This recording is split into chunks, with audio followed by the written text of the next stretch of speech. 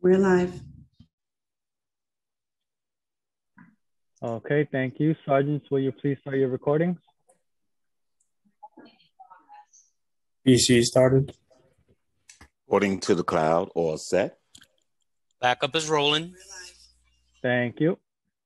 Good morning, everyone. Welcome to today's remote New York City Council hearing of the Committees on Education, Criminal Justice, and General Welfare. At this time, would all panelists please turn on your video. To minimize disruption, please place electronic devices to vibrate or silent. If you wish to submit testimony, you may do so at testimony at council.nyc.gov. Again, that's testimony at council.nyc.gov. Thank you for your cooperation. Chairs, we are ready to begin. Okay. Good morning and welcome to the Committees on Education, Criminal Justice, and General Welfare's hearing on education programming uh, in jails and juvenile detention. My name is Mark Treyger, and I'm the chair of the Committee on Education. I am joined by my colleagues, uh, Keith Powers, chair of the Committee on Criminal Justice, and Stephen Levin, uh, chair of the Committee on General Welfare, and whom we will hear from shortly. I'd like to thank the Department of Education, Department of Children's Services, and the Department of Correction for being here today to provide testimony and answer council member questions on this critically important topic. Court-involved youth are those students that are arrested and detained or, or incarcerated who have the same rights to a free and appropriate education as their peers. State education law is clear that court involved youth under the age of 21 and who do not have a high school diploma shall be provided education by the school district which their facility is in. Here in New York City, District 79 is the city's alternative schools district. This includes juveniles, adolescents, and young adults who are in the justice system. All the important issues that Committee on Education has touched on this last year including mental health supports, social emotional learning, access to special education resources, and adequate technology, among others, are equally necessary for court involved youth. Just because a student enters the justice system does not mean our obligation to provide all the educational resources they need to academically succeed ends. In fact, they need more. Justice system involve- involvement often impedes educational progress. According to the Juvenile Law Center, 66% of youth in the juvenile justice system drop out. 66%. That is a high barrier to success in life. During this hearing, I look forward to hearing from the administration on what steps it is taking to make sure that court involved youth are receiving the education they deserve and are entitled to under the law. Deficiencies will need to be explained. Uh, remedial measures to make up for academic loss due to COVID will need to be explained resources or the lack thereof will need to be identified, as well as how those resources are being spent. Pre pandemic, this set of students were often an afterthought. The pandemic has not changed that, but has certainly added to the obstacles and challenges faced by these students. I expect the administration to be prepared to answer committee member questions with forthrightness. And for those questions where an answer is not readily available, I do expect the administration to take the lead and actually follow through with answers uh, by close of business this Friday, April 23rd. Finally, this committee will also hear Introduction 1224, sponsored by Councilmember Danny Dromm, a local law that would require the DOE, ACS, and DOC to issue a yearly report on educational stats and related incidents pertaining to juvenile delinquents, juvenile offenders, and adolescent offenders in ACS and DOC facilities. Before turning to chairs Powers and Levin for their opening remarks, I want to thank the committee staff, Malcolm Butehorn, Cleva Johnson, Jen Atwell, Chelsea Betamore, Mrs. Sarkissian, Frank Perez, and my own staff, Anna Scaife, Vanessa Ogle, and Maria Henderson, and Janine Carachetti for preparing for today's hearing. I will now turn to my colleague, Chair Powers. Thank you, Chair Treyger, and good morning, everyone. Thank you for joining us here today. I am City Council Member Keith Powers, Chair of the Criminal Justice Committee here in the City Council. I'm glad that you all have been able to join us remotely today for our joint hearing on educational programming, jails, and juvenile detention. Um, I actually was at Rikers yesterday and we did talk about this a bit uh, related to young adults and education and programming. So this is a uh, uh, good timing in terms of this conversation. Um, on any, I think, I think as folks know, as any on any given day, there are approximately 450 to 500 young adults between the ages of 18 and 21 in DOC custody. These young adults are entitled to an education to help them achieve a high school diploma or a high school equivalency diploma. During the suspension of in-person learning due, due to COVID-19, Students on Rikers Island went weeks without receiving additional educational programming and could not communicate with teachers or other educational staff to get support with their learning. Instead, students had to rely on packets of paper worksheets, something that was reiterated to us yesterday by staff and confirmed yesterday by staff. Uh, so today we'll be asking DOE and DOC to tell us how they are addressing the educational disadvantages of young adults in custody caused or exacerbated by the pandemic. Um, we have a lot of questions here and concerns, including the quality of education young adults receive while in DOC custody. Due to the rising levels of violence, educational program is frequently interrupted by alarms and lockdowns, making it difficult or sometimes impossible for young adults to learn. Further, they may be shackled to restraint desks during school sessions, something we have seen up close and personal.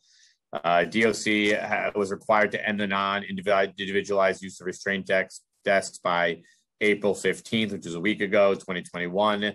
We, of course, would like to know whether that has ended and how DOC tailors their policies to ensure the least amount of disruption to educational programming. It's obvious that education is a critical key to rehabilitation and successful reentry for young adults. Today, I look forward to hearing from the department about ways in which its policies, practices, and programs support the goal of ensuring young adults have an adequate education when released. With that said, I want to thank the committee staff here, and the city council for putting together this hearing. I want to thank both chairs for their work and their effort to uh, put this hearing together as well, and all the council members who will be acknowledged momentarily. Uh, I want to um, uh, just to now hand it over to Council Member Steve Levin, who is the chair of the Committee on General Welfare, to give his opening remarks as well.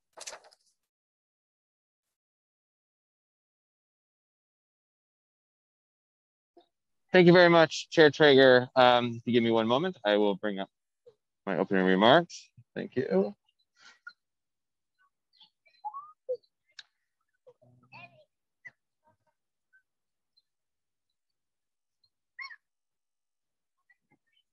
Please bear with me. I am doing uh, double duty with my children this morning. So,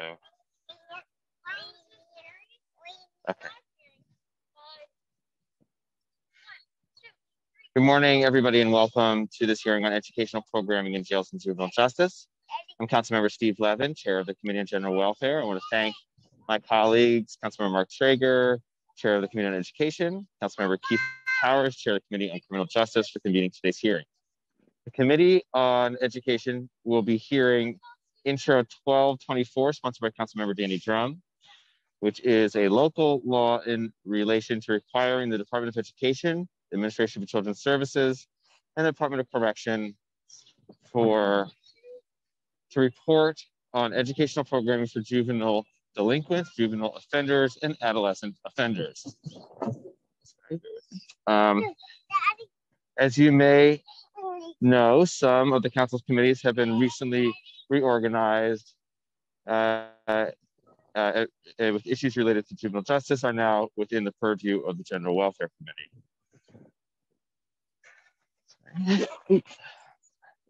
Um, in May 2020, due to the COVID-19 pandemic, ACS released a revised plan for their providers related to modifying staffing and training requirements in congregate settings.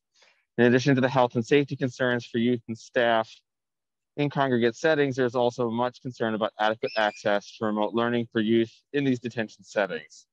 Problems persist for students in jails and detention facilities as it relates to sufficient access to instruction, and learning materials. Even when devices are available for use, access to technology for youth in detention is dependent on behavior, on behavior with devices taking away, with devices being taken away as punishment. In place of those devices, students are administered a paper packet for lessons. As reported by the city, the, the news organization, the city, Uh, ACS and DOE are working to expand access through secure voice communication for remote learning, as well as expanding tutoring services. However, there's been no timeline for implementing such a change. In today's hearing, the committee will seek a better understanding of ACS's effort to ensure that appropriate safety measures, adequate resources, and quality education are provided for youth in detention facilities. I want to thank advocates, members of the public, and those with lived experience who are joining us remotely today. Thank you to representatives from the administration for, for joining us, and I look forward to hearing from you on these critical issues. Um, and I want to thank my staff, my chief of staff, Jonathan Boucher, as well as my, legis my legislative director, Nicole Hunt, and committee staff, Aminta Kilawan, senior counsel, Crystal Pond, senior policy analyst, Natalie Omery, policy analyst, and Dan Krupp, finance analyst. And thank you so much. I'll turn it back over uh, to Chair Treyger. Thank you. Thank you, Chair Levin, and thank you, Chair Powers. Uh, I just want to note that we've been joined by Council Members Dromm, Councilmember Riley, Councilmember Rose, Councilmember Diaz, Councilmember Grodenchik, Councilmember Holden, Councilmember Borelli, Councilmember Lewis, Councilmember Gennaro, Councilmember Brannan, Councilmember Rivera, Councilmember Barron, Councilmember Kallos, and Councilmember Lander. And if we missed anyone, my apologies. We'll make sure we, we, uh, we list you. And with that, we will now hear from the administration. Uh, first, we're going to hear from Councilmember Danny Dromm, who's going to speak oh, quickly. yes, my apologies. Yes, Chair Dromm, please, absolutely.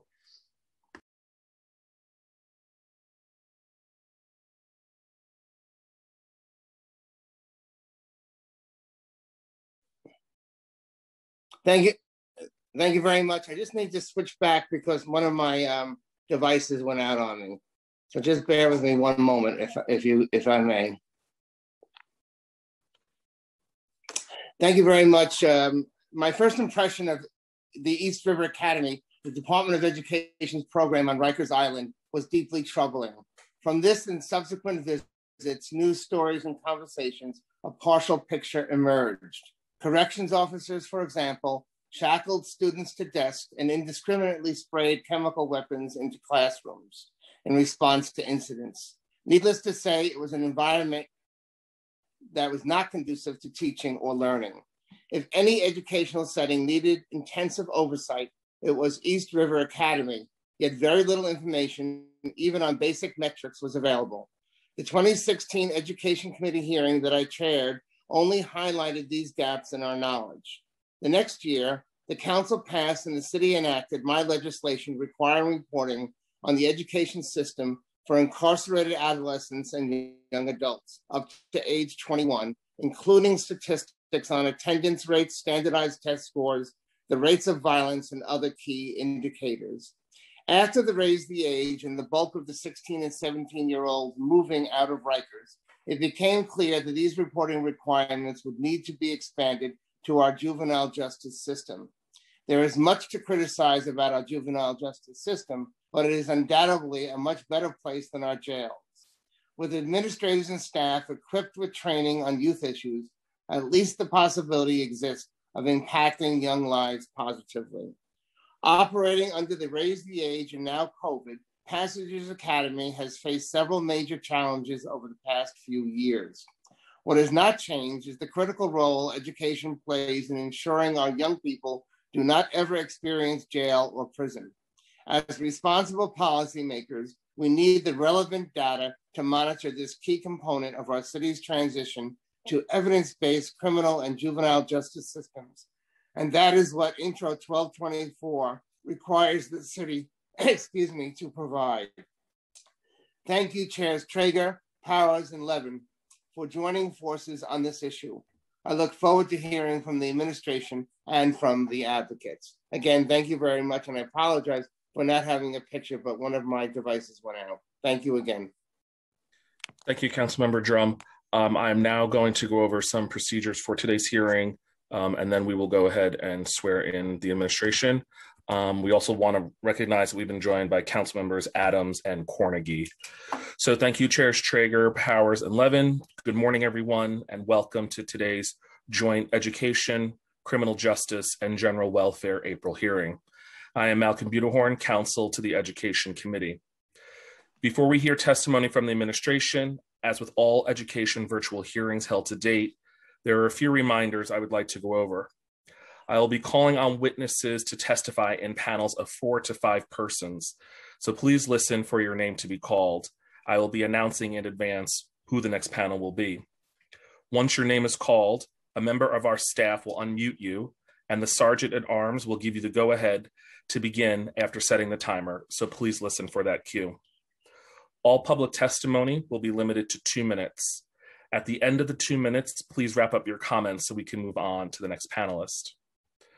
Council members present, for those of you who have questions for a particular panelist, please use the raise hand function in Zoom, and I will call on you in the order with which you raised your hand after the full panel has completed testimony. We will be limiting council member questions to five minutes. This includes both questions and answers.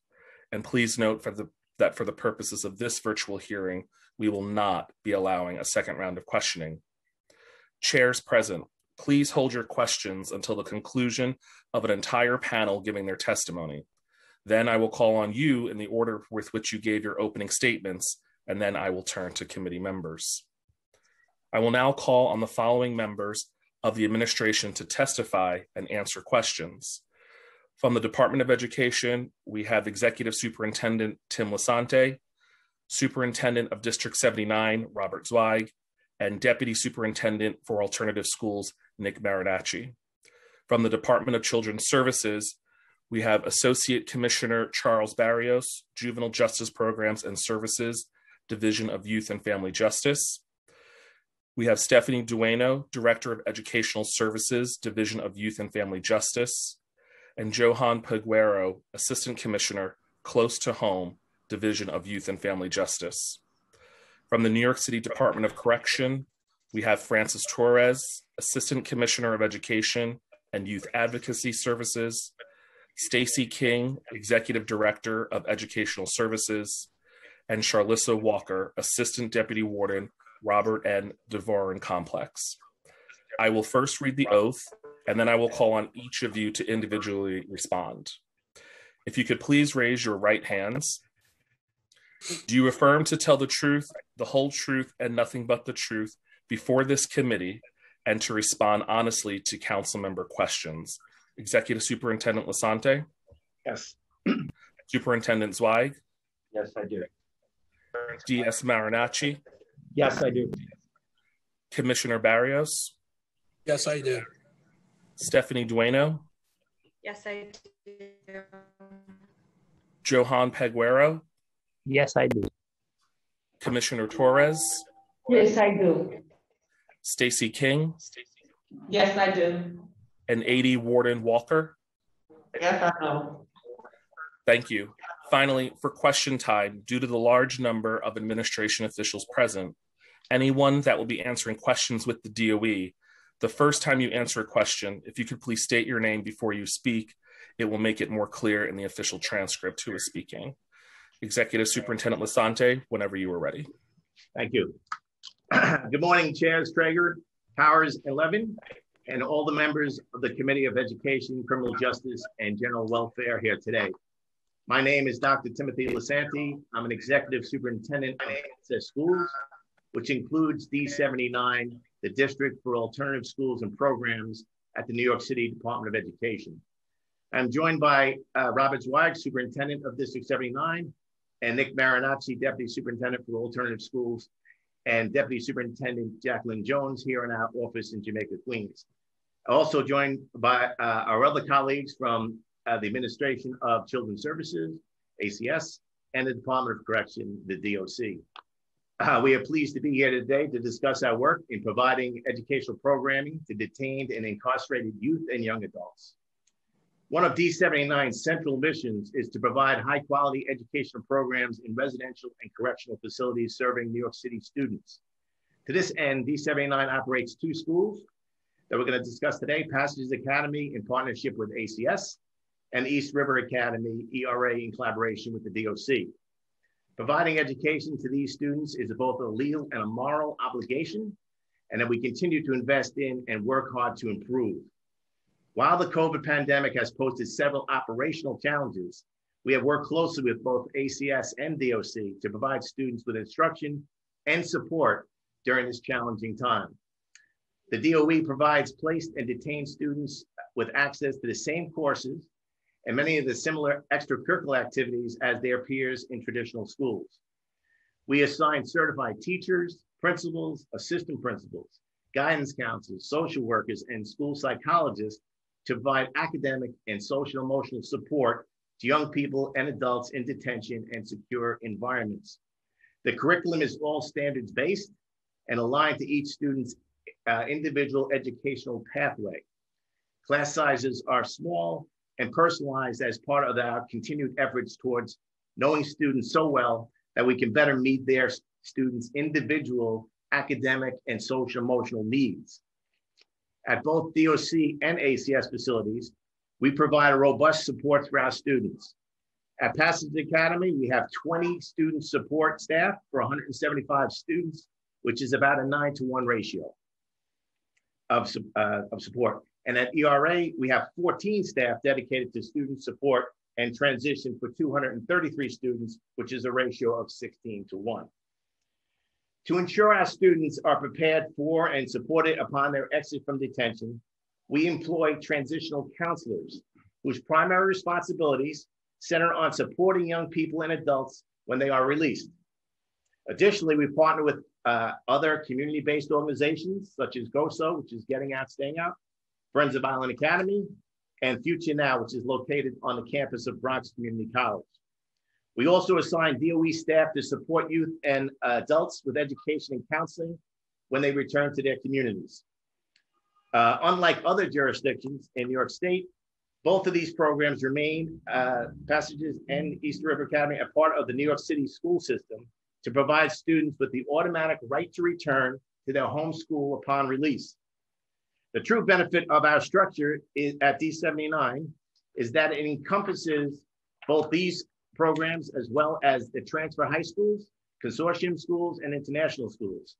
This means when a student transitions out of uh, Passage Academy or ERA, ERA, they can remain within the same school district uh, that they that already knows them. From day one of this pandemic, we committed to supporting our students in detention as they continue their education. Both during the pandemic and in general, our overarching challenge is how to most effectively balance safety and security requirements with providing high quality education in these settings. Our commitment remains uh, to provide each student with personalized learning experiences and support systems they need to achieve success in school and beyond.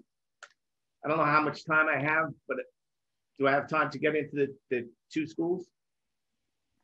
Yeah. Yes. Okay. First, uh, again, it's important to explain the differences between the two schools. Uh, first, we'll talk about uh, Passage Academy, which is our partnership with ACS.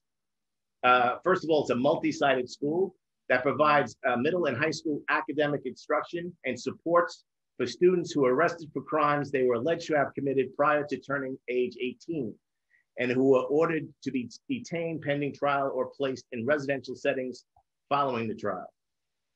Students receive instruction from certified New York State teachers at the facility or attend Passage Academy sites, depending on their court-ordered setting in detention or close to home. This school year, Passages has uh, 175 students enrolled across the uh, Passage, seven Passages sites. All Passage Academy sites provide full day of classes using a trimester system. Passage Academy provides licensed subject area and special education counselors and uh, teachers and counselors and school leaders to meet the educational needs of all students. Uh, it has 82 teachers uh, for the 175 uh, students, ensuring a highly personal, personalized education experience for students. The coursework, as at any high school in New York City, is aligned to the state standards in, in instruction, provides college-ready supports, and follows the New York State high school graduation requirements. Teachers are held to the same standards as their colleagues in district schools.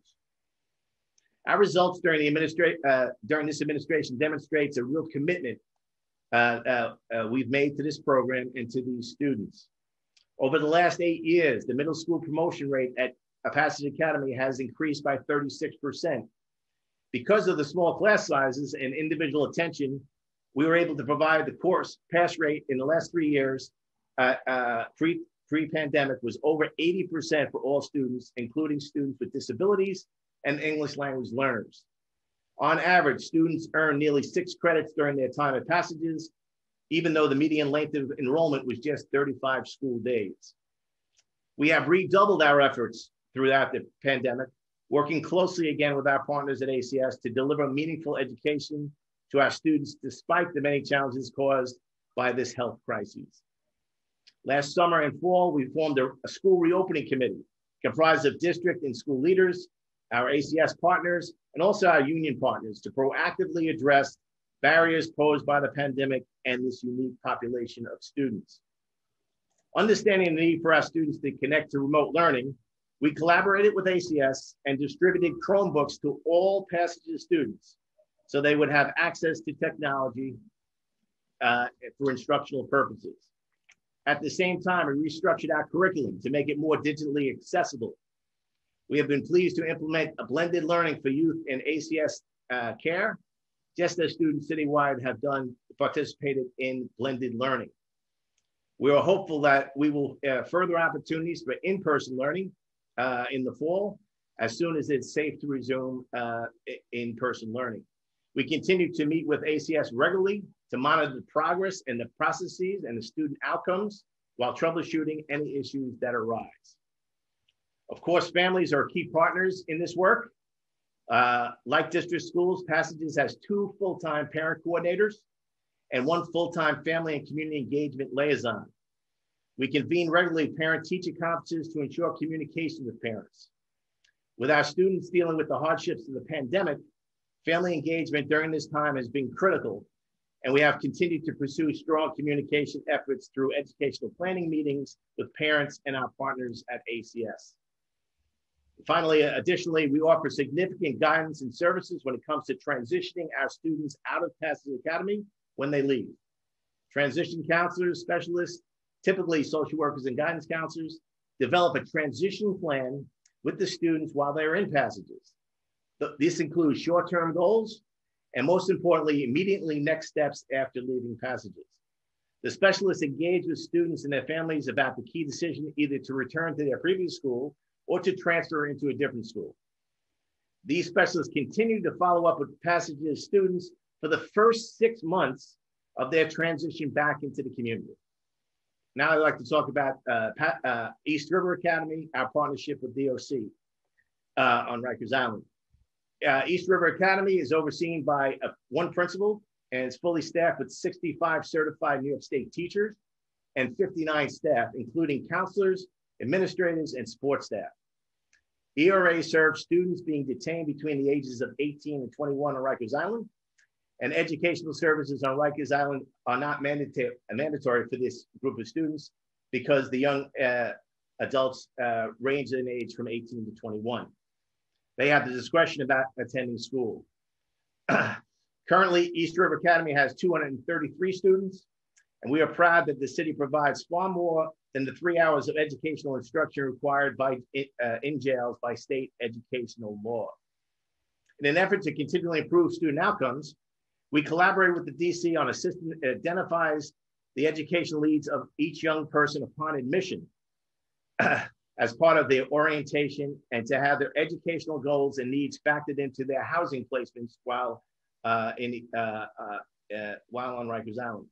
Uh, much like Passage Academy, a very small st uh, student to teacher ratio, to about six to one, ensures a more personalized approach at East River Academy. All students enrolled at East River Academy pursue either a high school or a high school equivalency pathway, depending on their age how many credits they have, and what they what they prefer. Students uh, on a high school pathway take high school courses and earn credits while they're at East River Academy. Students on a high school equivalency pathway focus on preparing for the test of assessing secondary completion, which is the TASC exam, which replaced the GED exam a couple years ago, which is required to earn a high school equivalency diploma issued by New York State. Due to the health and safety concerns presented uh, by the pandemic, we have unfortunately not been able to administer the high school equivalency exams uh, on Rikers Island. However, Uh, now that we've been able to transition to blended learning and in-person learning starting next month, we will be able to resume monthly testing for those eligible and interested in taking the high school equivalency uh, exam at East River Academy. Again, once the pandemic hit New York City, DOE convened with our agency partners uh, at the DOC and union partners to develop a plan that would address our goals in providing high quality education while ensuring that the safety and health and, and, uh, and security concerns are all met. At the beginning of the school year, ERA started entirely with remote learning in light of the health and safety issues. The DOE partnered with uh, the DOE partnered with DOC to provide uh, paper packets created by our teachers and core academic subjects, uh, and they would deliver to students in their housing areas. Uh, teachers then collected and reviewed these packets for feedback and further instruction on a bi-weekly basis. Students also had access to their teachers and counselors by phone through hotlines dedicated for this purpose. Phone hotlines. Uh, in addition to the packets, DOC provided us with access to computer tablets that provide uh, the population with supplementary programming.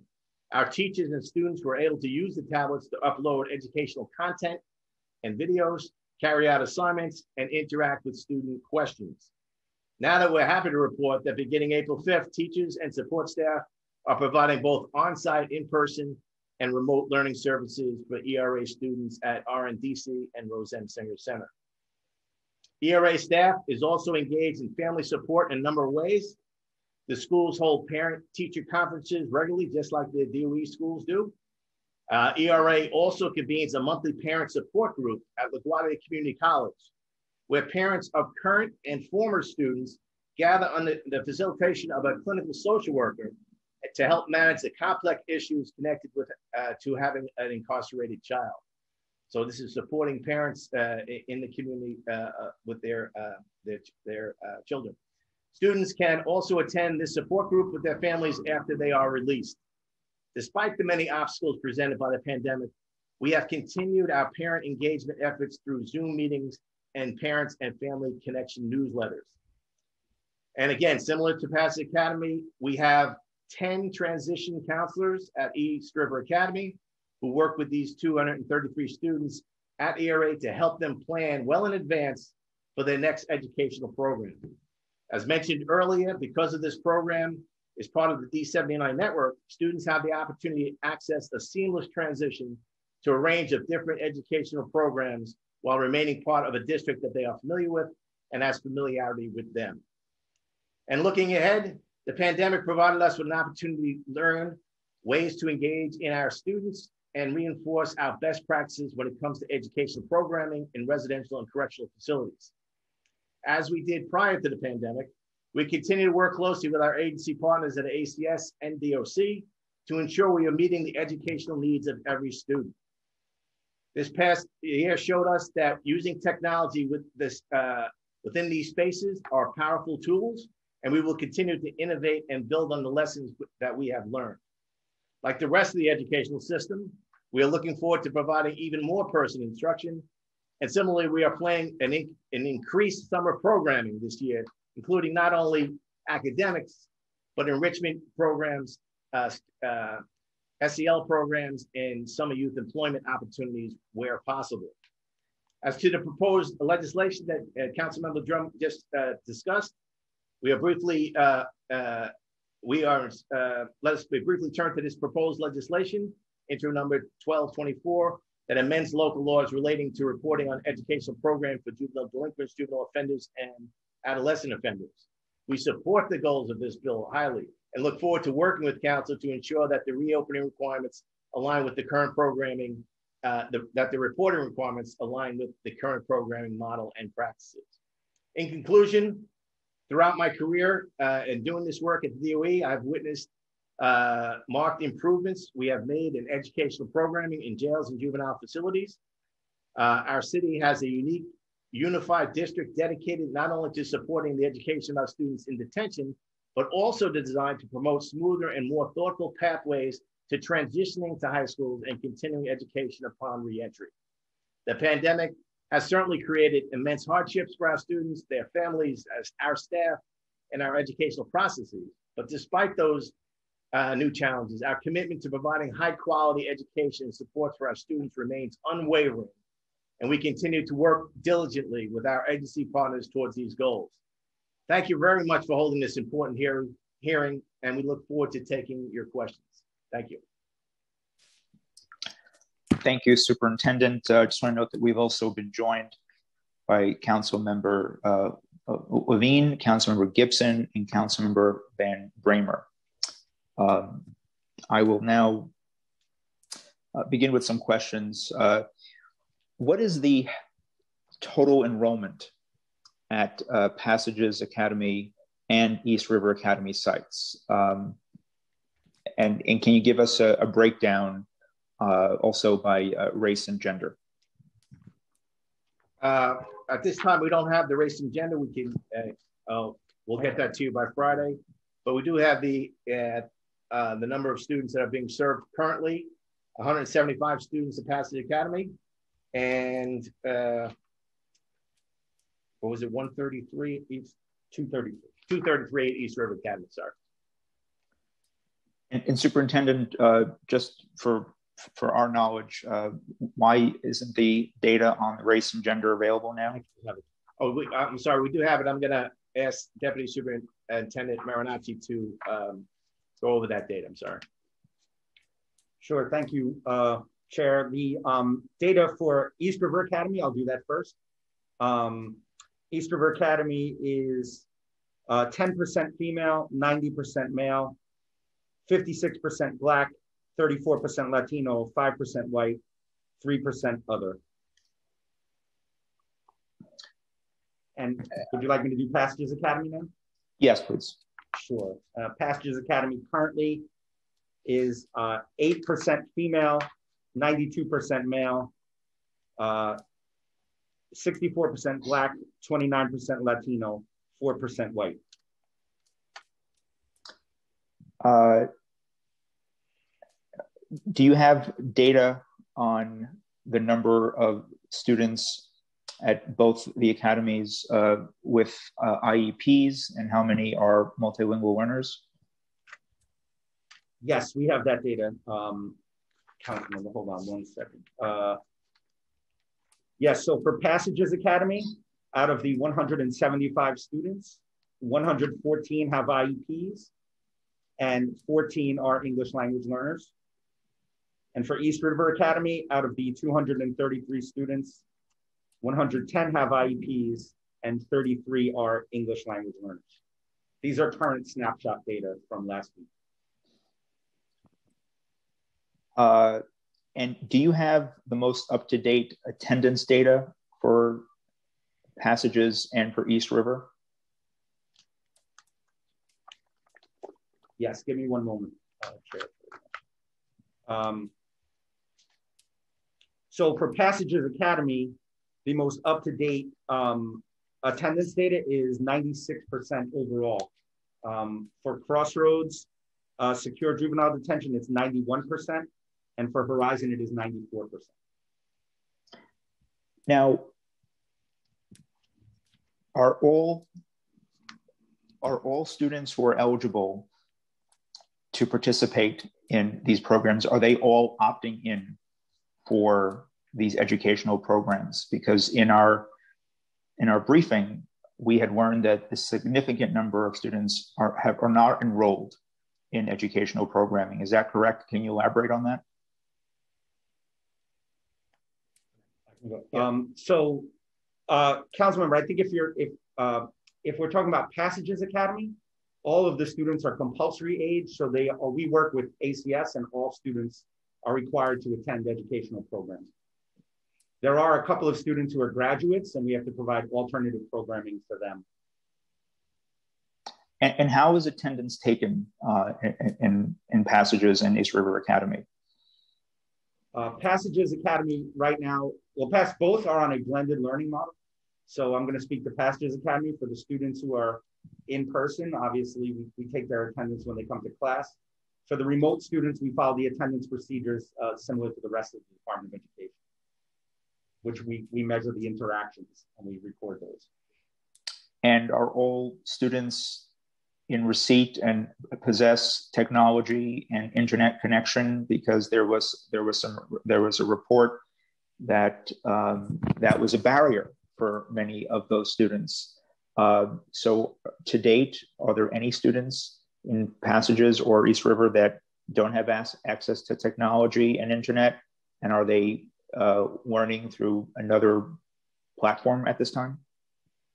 Sure. So I'll speak to Passages Academy first. Um, at Passages Academy, all students are issued a Chromebook by the Department of Education.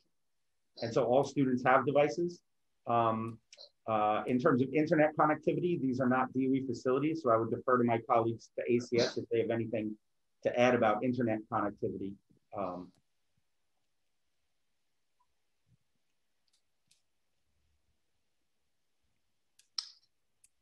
If we can unmute Charles Barrios.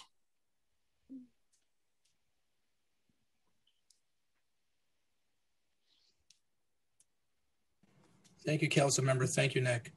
Um, so last year we adapted immediately when the pandemic hit um, to transition many functions that were previously in person to remote and have continually worked to ensure that these functions operate seamlessly.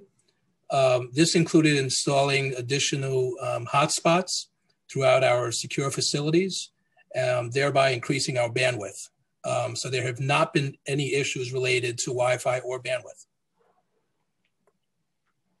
So uh, just to be clear, every student who has requested a Chromebook, the, the appropriate technology, and also there are students with IEPs who might require adaptive technology in order to receive instruction. Is the DOE or any of the agencies aware of any students who are still requesting whether it's technology, adaptive technology, or internet services, or have we met have we met those needs? Good question, Chair. I will defer back to the uh, my colleagues at the DOE. Again, um, thank you, Chair Treyger. Every every student at Passages who's enrolled receives a Chromebook through the DOE. Now, you, you mentioned passages. Now, it's my understanding that uh, participation at East River Academy is not uh, compulsory. Is that correct? Yes, that's correct. Um, again, uh, students are over 18 years old, so it's voluntary for them to come. And uh, again, thank you for that question. And thank you for also your advocacy for the non-compulsory age students. Uh, so we provide uh, full services to students that are 18, 19, 20, uh, 21 years old. And the other thing that I want to point out with the non-compulsory age students is that adult education now is uh, under our, auspices at, at, Access, meaning that students, when they age out of 21, can stay in our system seamlessly as well. So it's voluntary, not non-compulsory age in East uh, River Academy. So how many students are not enrolled in the program at East River Academy? Um, I'd have to, um, we only know how many are enrolled. We don't have access to the, the Department of Correction data on the overall population. So we have 233 students enrolled currently. One of the things D- DOC on the call? Yeah. We can go ahead and unmute the Department of Correction.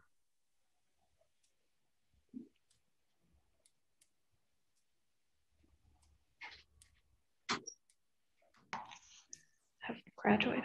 Good morning, Chair. My name is Francis Torres, and I'm the Assistant Commissioner for Education for the Department of Correction.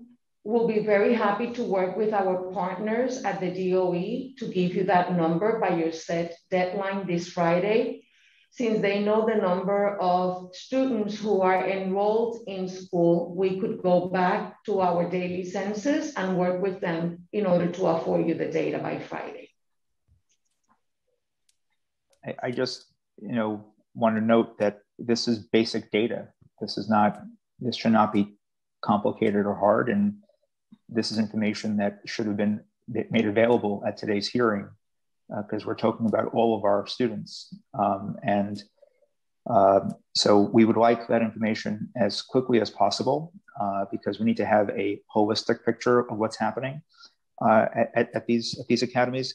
Can can DOE get uh, provide for me what is the social worker to student ratio at Passages? And then we'll ask the same question for East River Academy.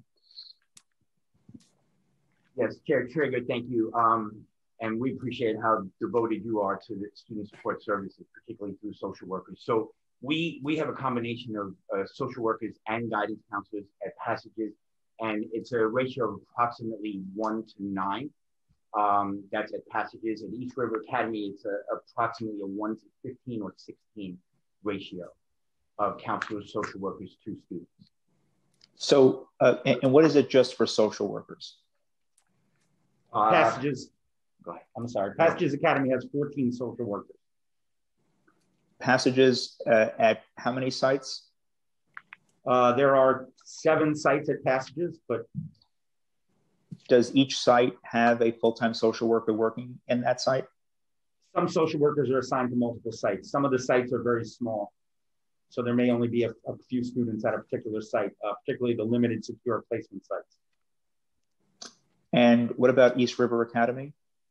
East River Academy has five social workers and five guidance counselors. What is, do you have data on uh, teacher retention, teacher uh, turnover rates um, at, at, both passages and at East, East, River Academy? Yes, we do. Uh, if you give me just one moment, I just want to find that. Um, but I can, before I find the actual number of teachers, I can tell you that uh, we have very low turnover rate and we experienced uh, almost no attrition due to the pandemic. Um, do you want the total number of teachers?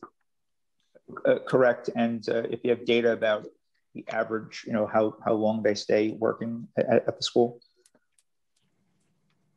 I know when we've done this uh, survey in the past, it's very similar to the transition rate uh, of teachers uh, outside of um, these programs. And we do have an awful lot of people who have dedicated their entire careers, uh, been out there 20 and 25 years, including the principal. She's been there 25 years uh, at East River Academy. She was a teacher when I was a principal. She's got a background in special education. And same as that principal in Passages, he has a background as a school psychologist. Not too many school psychologists become principals. So I think we have two leaders in these two programs who have been there a long time and really uh, uh, have provided de- dedicated services and very special uh, leaders. I have the numbers. You have the numbers? Yeah. Uh, so for Passages Academy, there are 82 teachers. And for East River Academy, there are 39 teachers. And Chair Treyger, if I may, it's Robert Swag. Um, while we may not have exact retention rates at this point. We can get them, but it's, it's important to note that the average teacher salary, which is how the DOE kind of classifies seniority uh, for budgetary purposes, in both programs is around $100,000, which is the high end of salary. Now, clearly that does not mean that these teachers have been in these facilities all these years, but they are veteran teachers and the turnover anecdotally, and I understand we need to get you the, the exact retention, is really very minimal very minimal. As Dr. Lisante said, from our administrative staff to our teachers to our support staff, um, most are tenured and most have been there for many years. And, and how many uh, how many paraprofessionals or are there any powers that work at, at East River or Passages? Yes, um, there are paraprofessionals at both. I don't have the exact number of paraprofessionals, but in both programs, for Passages, there are 30 support staff. That's a combination of paraprofessionals, DC 37 community titles, and uh, secretaries. And for East River Academy, there are 34 uh, support staff. Well, the reason why I asked about powers is that, and again, I, I, am not privy to obviously what's in the IEPs, but in many cases, when a student has an IEP, they might require the support of a paraprofessional, someone beyond just the regular classroom setting. Um, and so, do you have data with you? What is the percentage of students with disabilities who received all of their mandated uh, IEP services this year, uh, and how does that how does that compare to previous school years?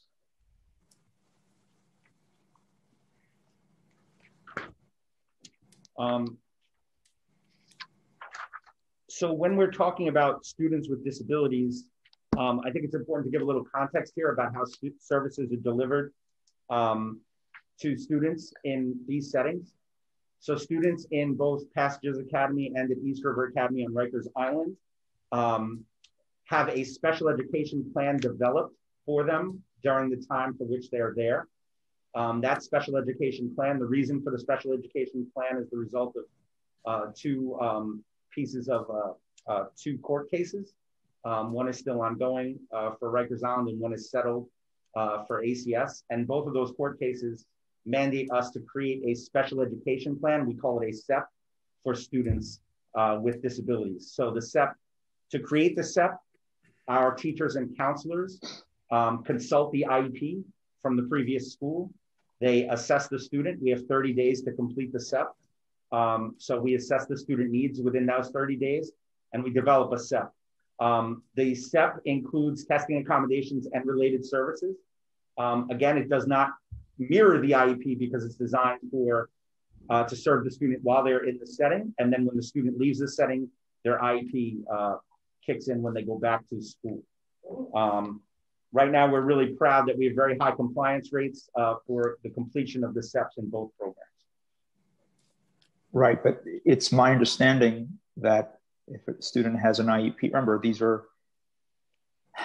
they were uh, attending a school prior to entering, uh, you know, whether it's pa- uh, passages or um, East River Academy, and if a student has an IEP, their rights travel with them wherever they go. Uh, and so, you know, we we passed a number of compliance bills to, re- to require reporting on the uh, percentage of students with IEPs who are receiving their mandated services.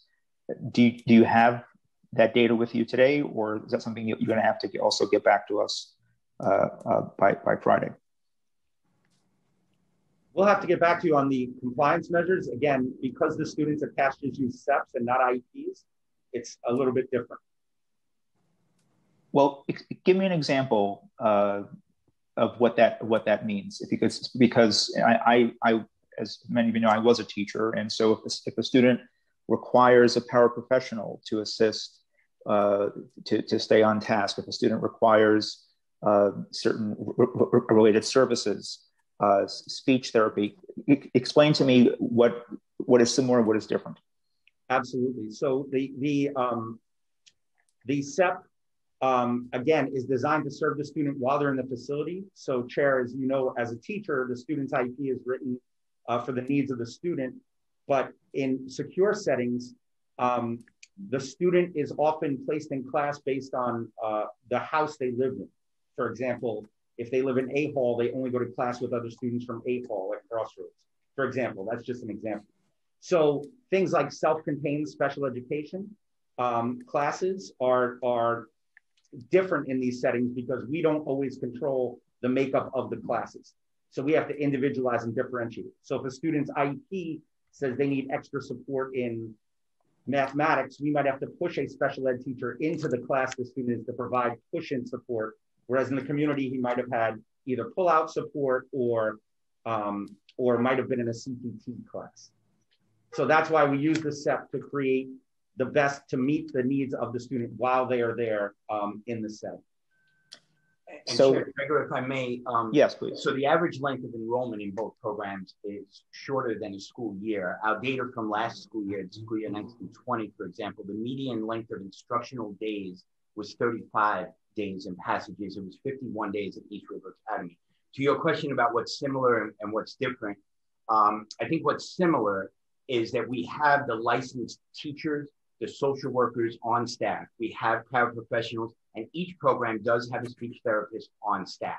So the similarities are that we have the credentialed staff to provide those supports, to provide that individualized type attention that would be consistent with the IEP. What's different is because the length of enrollment is shorter, um, and because, as Deputy Superintendent Marinacci said, the housing areas are not determined necessarily by educational need, but by safety needs and classification needs, we have to be more nimble in having adequate staff and the appropriate licenses and titles on at the facility that then provide either that push in or pull out type support. And students receive mandated counseling. Yeah. Um, we have uh, all of our students receive counseling, not just the right. special education students. So all students see counselors very frequently for transitioning and other needs. Uh, this population needs a lot of counseling, and so we have the staff to provide that. And, and do you have any uh, full-time school psychologists? Yes, in both programs we do. Yeah. Uh, how many?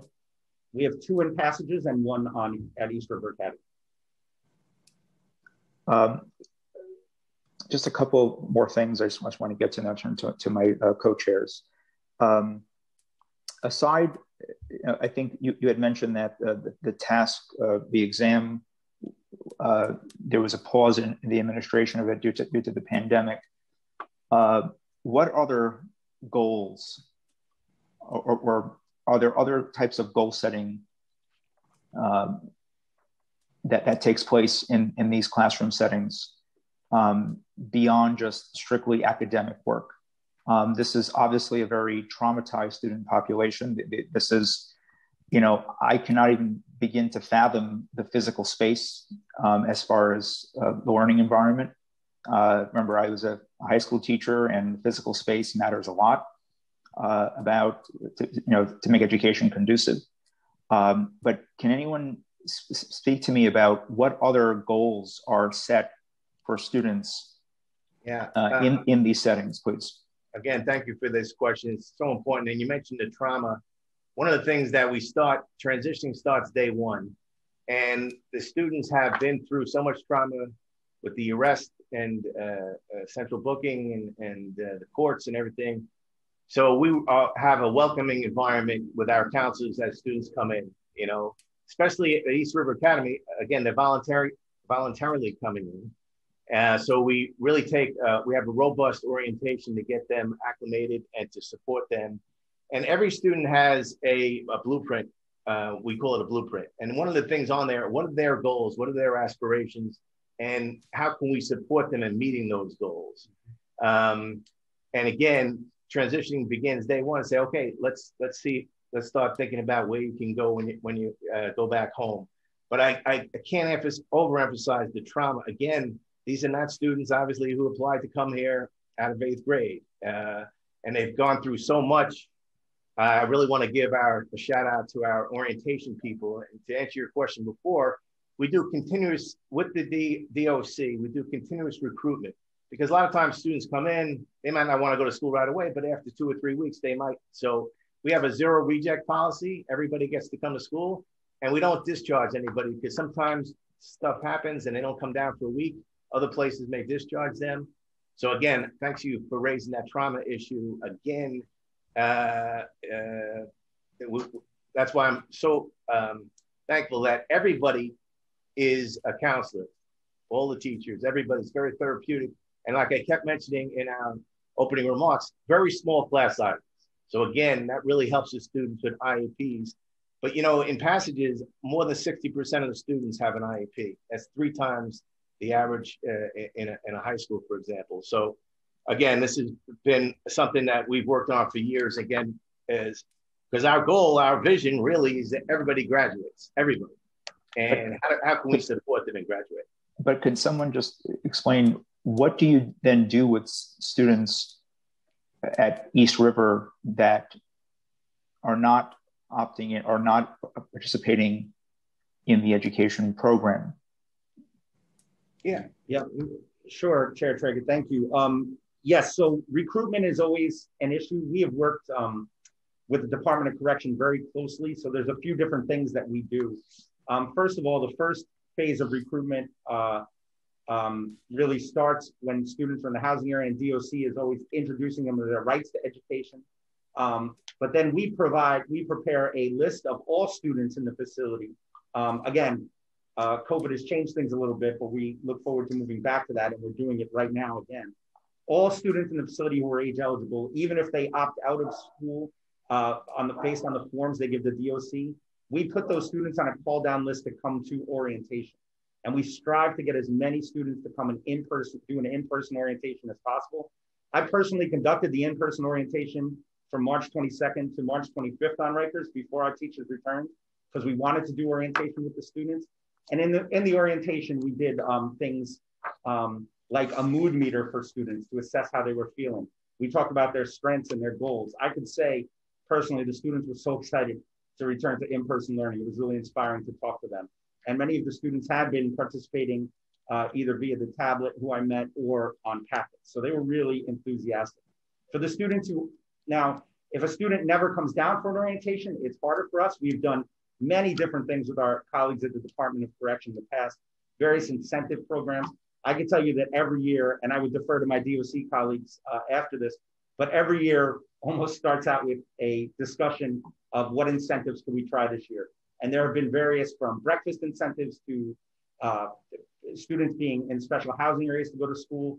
We've tried many, many things. Um, because of the short length of stay and the non-compulsory age of the students, it is an ongoing challenge. Um, and it's it was a challenge before COVID. Um, and it's at one important number that I think uh, that might interest you is 73%. Uh, it's either it's between 70 and 75% of the students right now at East River Academy, this number has been consistent for a few years, come into school disconnected. They were dropped out of school before they came. So they, they, they came into school um, dropped out of school. So we are not only trying to engage them in school in a correctional facility, which is a challenge, but also trying to engage them back in school when they've dropped out of the system uh, overall. And, and, that's why, you know, we began asking with attendance, uh, because uh, attendance is a major indicator of things. And also the kids who are not participating uh, in at East River, uh, that's further disconnection, which which concerns me and, and, and worries me. Um, and that kind of addresses a question that we had about as part of the conditions of the funding that you, receive to administer services. It talks about coordination with the previous school that these students were in, and with and and and once they leave uh, these sites, can anyone speak to if a student was disconnected prior to arriving to East River or Passages? What does connection look like uh, uh, once they leave? If, if the if the average uh, length of stay is, as you're saying, is short. And that and that's why again we we talk about transitioning beginning day one. So we have access to all the transcripts. One of the things we pull up with the student the counts of the first day, see where they are, see when they were discharged from school. Um, one of the things, and one of the again, one of the uh, great practices here is that we run the high school equivalency programs throughout New York City, as you know, many sites. And last year, for example, 37% of the students who passed that test, which is a rigorous exam, it's got physics and, and uh, uh, high, high level math, uh, 37% were who passed were discharged from the school. They, they dropped out uh, of a school, which means they re-engaged and got their high school equivalency. So even if the student comes to us, like Nick said, that have, have been discharged, we can still pull up their transcript, see what level they're on, and then start planning their next step for uh, continuing education in, in, the community. So we have access to all the former schools of the students when they come in, and we review how many credits they have and if they're on a high school equivalency track or a high school diploma track. And, and if I may, on, on that, I, would like to add some, some things that Dr. Lisante just said and to Deputy Marinacci's comments before. We have added career and technical education um, on Rikers Island. We do have credentialed teachers there that provide courses. So that also is a motivation and not only a motivation, but something that gives skills for when that young person leaves and goes back to the community. In terms of, um, you had asked earlier about, you know, some of the goals and the pause on the TASC exam. Yes, that is true. But through largely through our advocacy here in DOE, um, state ed instituted a waiver um, where prior test scores and prior regents um, are counted. And so there are 13 students that on Rikers Island that have taken advantage of that waiver and have attained their high school equivalency diploma during this pandemic. Now, when we resume the, the in-person testing in a few weeks, that number will obviously go up and the waiver is still in effect at least through June 30. In terms of the outside the community and our transition work, something we're really proud of is our partnerships with community-based agencies. So there's a whole slew uh, many of which the, the, the, chair people are very familiar with and help support and fund throughout local communities that we can openly refer students to and make sure that there is admission on the other end. There are others that are specific to students that are coming out of detention. But if I may, what, what and I'll, I'll just I'll wrap up shortly and turn to my colleagues. what worries me is there is this.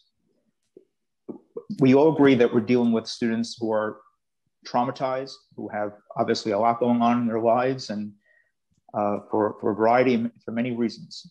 Um, it sounds like that there are there is there, there are social workers who work at these at these sites. There are counselors who work at these sites. You had stated that many of these kids were previously disconnected from the school from the school system.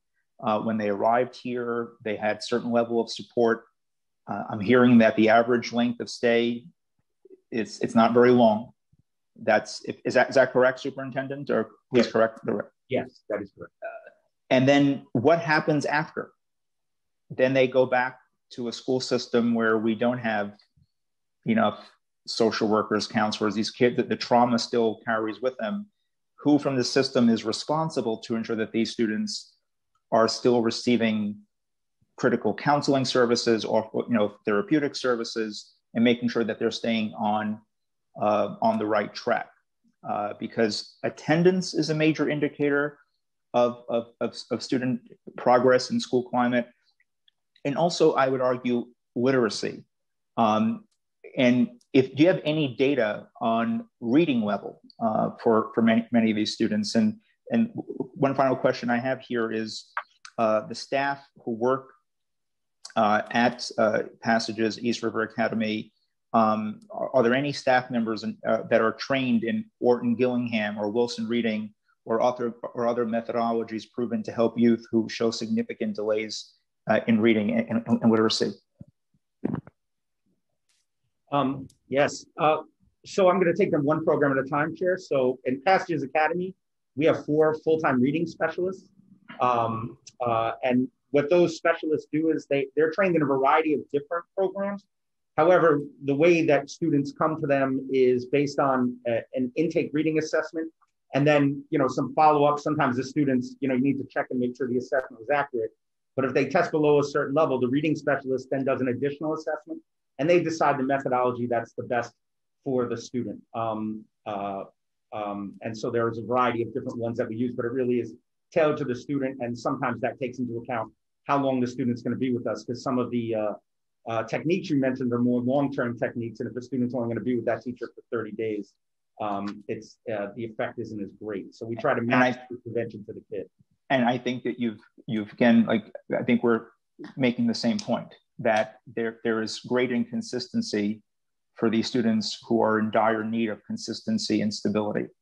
And it seems that they they they came from a disconnected school school structure where there was inadequate support. Um, entered, you know, unfortunately, you know, this was you know this was uh, something happened obviously during the course of their lives, and and and uh, quite frankly, again, many of these kids um, you know, they're still awaiting trial. They have not been, you know, this is not the, this is not truly due process, quite frankly. Uh, and they're even adding more trauma to their lives. Uh, but there are some increased number of social workers and counselors in this setting than they're used to in their previous setting. And then after their length of stay, they're back into society with inadequate supports and there's no one watching this from, from this macro level watching make sure that these kids are getting the services uh, that they rightfully need so this is a, this is an area of concern i think that chair Dromm and others uh, have alluded to this for quite some time but i'm going to turn it over now to my colleagues in the interest of time. Uh, thank you. We'll hear from chair powers. Thank you. Thank you.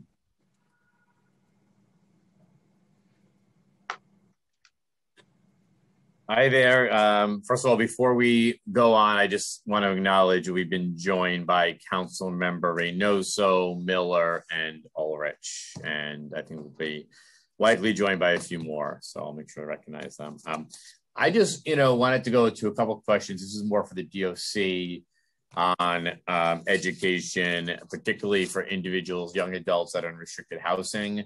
I was, as you know, at um, Rikers yesterday as we were looking at some of the new uh, where we're looking at the restricted housing units as the Board of Corrections and Department contemplate changes to and, and rulemaking related to solitary confinement and restricted housing. Um, can you tell us just, you know, how young adults in restricted housing units right now are provided access to education and educational materials? What does and tell us what that consists of? Good morning, Chair Powers. Thank you so much for your question. This is AC Torres. Um, we are excited to share with you the fact that pre-pandemic, our partners from the Department of Education were affording in-person services in those specific housing areas. As you could imagine, um, the pandemic has posed a challenge to both agencies and presently those services are done through learning packets that are prepared and given to us by our partners from the DOE.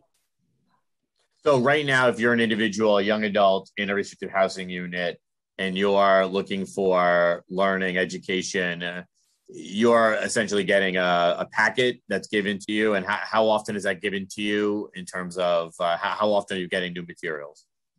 Sure. I think that it would be best for me to defer to the DOE. I know that because they are the ones who prepare the packages. I know that we receive the packages bi-weekly and the kids are given the two weeks to complete the packets, at which point members from the department's educational services unit retrieve the packets and give them to the Department of Education. Does the Department of Education want to add anything to that? Um, no, what, what Ms. Torres said is accurate. The schedule is uh, every two weeks. As we re we revise that schedule over time, and as we return to have more staff in person on the island, it may be revisited in the future. But right now, it's uh, two weeks seems to be about um, how much the students can handle at one time. And, and what? Look, I, I don't. Doesn't strike me that giving students a packet every two weeks without much guidance or teaching is going to accomplish much in terms of attainment, uh, educational attainment. So, so what, what, what is the experience here for students? What, what are student, you know, what is the every, you know, how, how many students are receiving packets? Let's there. Um, I'd have to defer to this DOC on that because it depends on which facility they're in. So let's say, let's say in uh, in uh, DOC uh, uh, facilities like Rikers Island, Rikers Island, how many students are um, being given packets every single week? So it's only the students. Um, uh, so right now it would only be students in uh, two facilities who would be given packets. Students in the GRVC facility and students in the OBCC facility. So the number I have here would be 39 students out of the 233 would have packets. The other students are uh, at RNDC and Rose M. Singer facilities. And those students are currently on a blended learning model where they have some in person and some remote instruction.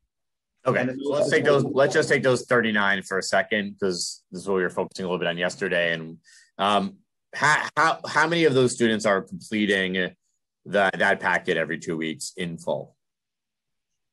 Well, the, the number of students changes over time. It's not the same 39. Right. So okay. it really depends. I, I, but, but my, my question is how many, like, what, what are you seeing in terms of percentage completion of those packets biweekly? Uh, it's not a very high percentage. I'd have to get back to the exact percentage. Yeah, I mean, it's not a high percentage because you giving packets to students is not learning.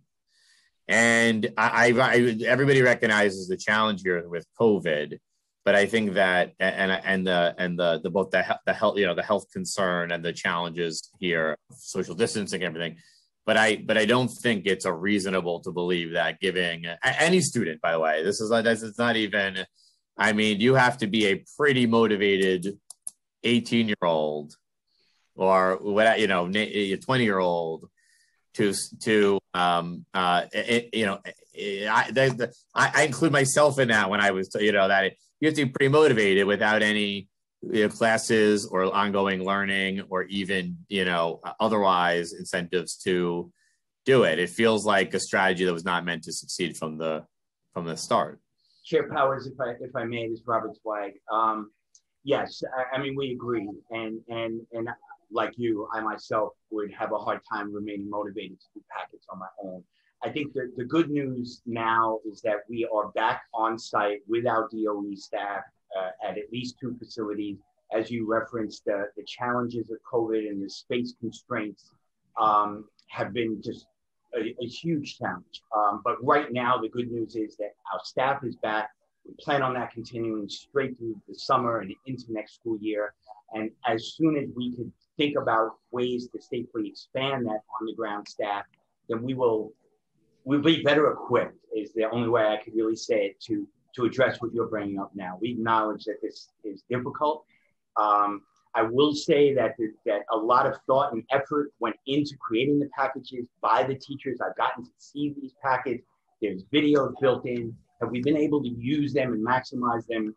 Absolutely not. The fact, however, that we are back on the ground with DOE licensed staff holds out a lot of hope and promise to, to make up for that loss. And, and I'd like to just add that students did, while it's not ideal support, there was a very quickly we established with the Department of Correction a phone hotline available from uh, every housing area where throughout the school day, students were able to call teachers and counselors for support with that work. How many phone calls have resulted as of that? We'd have to get back to that data. We don't have the right. Okay. Department of Corrections is for you guys. Um, it, you know, it, there seems to be a sort of an open question for, for me about whether. Well, let me let me let me ask a direct question do we have adequate space and facilities to be able to provide in person or hybrid learning to folks in restricted housing units if uh, or, or, or, what what is the constraint in terms of providing uh, you know adequate uh, and and equitable education for those folks that's a very good question chair powers i know that in very specific facilities, we do have adequate space, while in other facilities, because of the um, structure, you know, keep in mind that some of our facilities are very old. Um, it makes it a little difficult, and especially during this time where social distancing is at the forefront. But we are always looking as to how best to provide educational services in any given scenario. So when I um, was there yesterday, we went over to NI, NIC, and you know the units that we saw, the programming space that was you know that I think would be designated for those units, the lights didn't work, and there was nothing in that. The, the, I mean, I know those units have been converted recently, as I understand it, um, and they're uh, I think somewhat of a new model here, but you know there wasn't any actual space to provide programming and the I mean it's it's a confined space to begin with to even just walk through it, and it's very old. And I think the concern I'm raising here is that there's not space. There there might even be a little bit of space if you wanted to do something, but it's there's not even any the lights. I you know so, I, so I the lights didn't even work in that space because we were using flashlights to to to go take a look at it. I, I think that the one of the issues here is the lack of available space to do learning and programming uh, uh, in, in, these some in some of these facilities. Do you, do you? But it seems like you agree with that assessment. So here, if I may, the space is always a concern to us. You are correct in terms of the structure at NIC. However, we are working closely to identifying the necessary space that would allow us to afford programming. And when I mean programming, I don't mean um, cell or next to the cell, but rather a programming space conducive for counseling as well as educational services. We're using the time frame that we have, you know, from now until November to actually be able to come up with the necessary space solutions that would allow us to do educational services in a cohesive, quantitative, and qualitative way. Um, okay, and and when the um, how many young adults right now are currently housed in restrictive housing units where restraint desks are used? Oh no, sir, we don't have anyone um, in the um, restrictive chair. When did that end?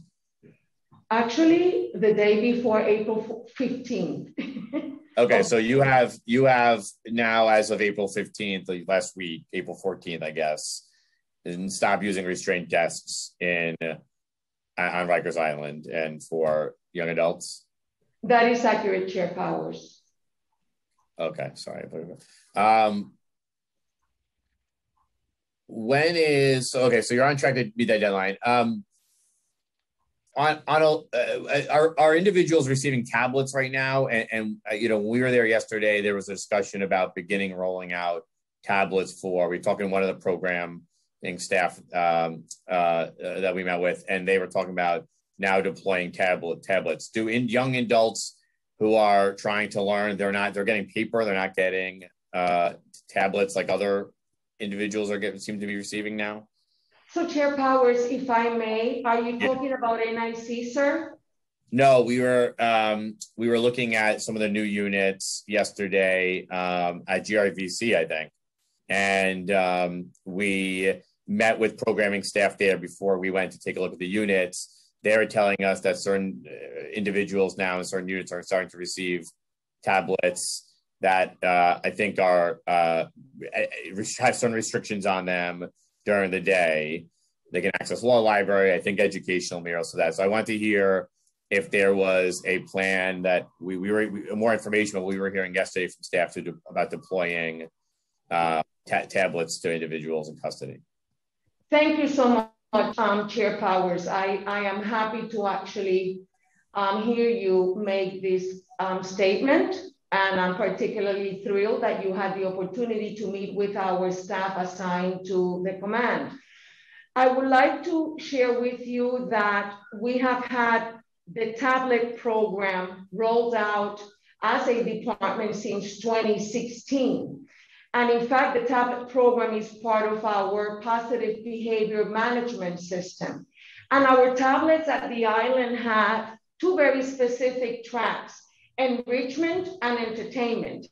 And so when we have the deployment of the tablets, we are always careful to have an orientation with the young adults as well as the adults as what it means to receive a tablet. And so we discussed with them the fact that the tablets will be deployed to them from eight o'clock in the morning until 8 p.m. We also addressed with them that the tablets need to be returned to us in the same way that they received it. They need to take care of them. And so there are times in which the tablets may not necessarily come back to us the way in which the population received it. And so we adhere to the fact that there is an accountability process and there is an accountability expectation. And in doing so, there are times in which as an agency, based, at, as, based on that accountability, as well as any security concerns, we may pull the tablets back. Our goal has always been to ensure that anything that we implement as an incentive continues especially at this time, Chair Powers, I think it's important for us to share with you that when we were impacted by the pandemic, we immediately relied on the tablets as that remote learning for us to support the Department of Education's efforts. And as such, any interruption that has taken place with the tablets, I am happy to report to you that we have already begun the redistribution or redeployment of tablets, and it is our effort to continue to do so on a regular basis.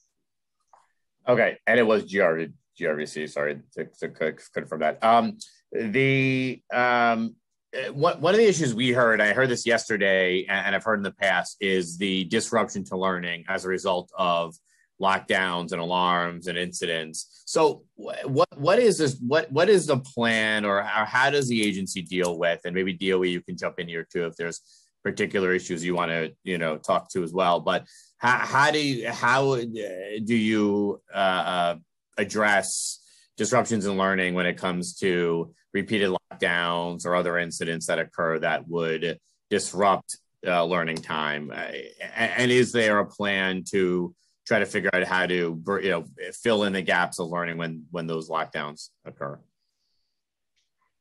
So Chair Powers, if I may, I, I take very seriously the fact that as the Assistant Commissioner of Educational Services, there are minimal interruptions to the provision of education on a daily basis.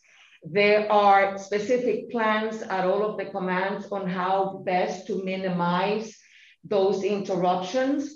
As you could imagine, the interruptions are for the most part um, as a result of any alarm status. Since I am not the best and well versed when it comes to that, if you allow me to actually pass that question to Warden Walker, who is our warden at RNDC, who will be able to share with you what it is she does at the R uh, at the Robert and Davoren Center. Warden Walker. Good morning, Chair Powers. Um, Good morning. Um, first, I would like to share that an alarm is, is an event where a staff member utilizes their personal body alarm in which they um, feel like they need assistance to manage the situation. Um, where there is an alarm, the supervisors, they work to assess the nature of the issue and um, determine if a supervisor or a pro team is needed to be deployed to that area. Um, wherever possible, we do work to de-escalate the situation and to localize the alarm response to that location um, wherever the event transpired. Um, where possible, the tour commander or management team, we work to allow movement through the alarms for um, services such as school, um, um, school and any other educational services. Um, the goal is to absolutely ensure that these um, young adults are being provided their, um, their services. Okay, I mean, I just I think we've heard, and we heard this. We was talking to individuals yesterday that you know there were kind of constant disruptions. It felt like, and that the ability to have sort of con, you know sort of stable constant learning was being disrupted by incidents. I, I recognize that the agency may not have specific control over when these incidents uh, or, or or alarms happen, but trying to recognize the uh, idea that if you're trying to learn and you are there's there's like these sort of constant disrupt it seems like uh, what we heard was kind of ongoing disruptions. I just want to flip because I, I see a lot of hands up and i know there's more questions ahead so i will try to questions um to and then i'll come back. But um just a few more the, the doe can you talk to us more about the packets that individuals are receiving right now what is included in those packets and how are they targeted to individual specific needs or, or, or learning? And, and I guess the one basic question is, are, are all individuals receiving the same packet? Um, thank you, Chair Powers. Uh, so when it comes to the packet, uh, the initial packet that a student will get will be based on their pathway, whether they're a high school equivalency student or a high school student, right? So that makes a difference in what courses they need, and so, it, it, even beyond that, as uh, Superintendent Zweig mentioned before, some students might be eligible for parts of the waiver for the high school equivalency exam. So, for example, if I passed a science test and a math test, I might only need to take English and social studies. We try to target the packets to meet the students' needs. Um, the initial packets that students get uh, will be more similar, whether they're on a, depending on their pathway, more of an assessment for the teachers. And then future packets can be individualized for students as they return. And they're graded? They are graded and teachers provide feedback to the students.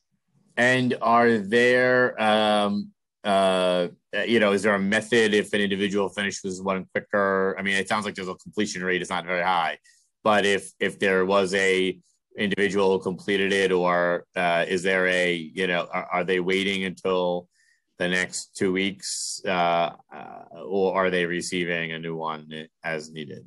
So I have to give a lot of credit to uh, Ms. King and her staff at DOC. Her team uh, actually goes to the housing areas, collects those packets, and they're in the housing areas more frequently than that in order to support students with other things. So I defer to them, but I believe in any case where they've communicated to that team that they need a packet quicker, we've been able to accommodate it in collaboration with the Department of Correction.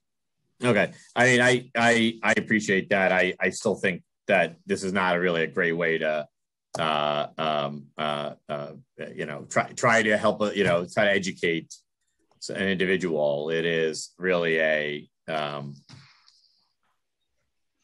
a very thin strategy for trying to address uh, uh, uh, what is uh, learning needs of, of what I think is 200 something young adults. I think was 233. I think was the number you said. Um, I'm gonna I'm gonna ask one more question, and I just want to um, and then I want to hand it over, but I'll come back. Um, we had heard from some providers. This is kind of goes back to a hearing we did a few months ago on reentry. This is maybe for the DOC. Um, but DOE obviously, of course, add in your uh, thoughts here too. We had we had heard from individuals that youth, uh, uh, that young adults, about fifty percent of them released did not have any government issued ID, such as ID NYC, a New York State ID, a driver license, a passport, um, and I know that ID NYC, for instance, is in our public library system. You can, I think, even some schools have found ways to try to get them to middle school students. Is there an effort here to try to get? I know this is a little bit, you know, sort of adjacent to this issue, but I want to just go back to it because we this case from from this is you know, still still in the same category generally. Um, is is there efforts to bring in ID and, and YC cards to DOC facilities or to improve access to ID for young people that have been impacted here and might might want one, and particularly for reentry services, might need one? I think it's for DOC.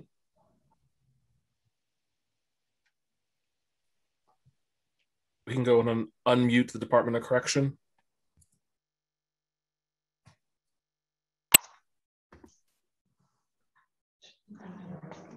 Good.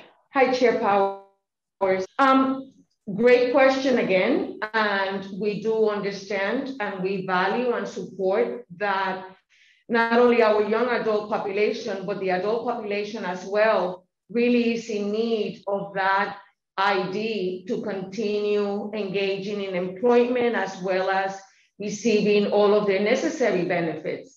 Um, I do need to share with you that we will be happy to defer this question to our partners from MOCJ as well as MOIA, since we have been working with them directly. Well, I, I, you guys are the Department of Corrections, you operate the facility. So my question is, if I'm leaving a facility, to go home and need to go get a job? Is there access to getting something like ID NYC as as in the facility? So we're working with them to find. A so we are working with them to find a solution because there is a, a concern regarding identity and proof of identity. Um, and um, I, I, think that we really need to reach out to our partners at MOCJ and MOIA to give you a better response. I don't want to mislead you in, in any fashion. Yeah, I mean, you're not misleading me. I just, it sounds like the answer is no. But the, um, um, but you know, like I recognize the sensitivity around ID and identification as a as a larger issue that has more than just that. But I, I think there's been a a concern raised that some of the young adults, particularly, are leaving without having access to it, and it might be needed or necessary as part of a, a, a reentry, or it's just a good access point to be able to get it if they so desire. Um, I'm going to hand it back over to. I think I'm handing it over to Chair uh, Levin now, and I see some council members with questions as well, and I may have some follow-ups as well. Thanks. Yes, we'll now turn to Chair Levin.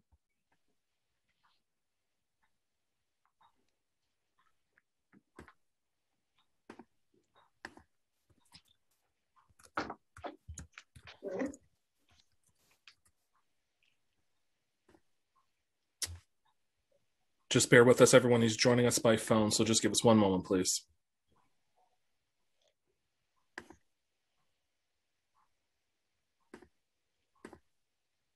Chair Levin, can you hear us?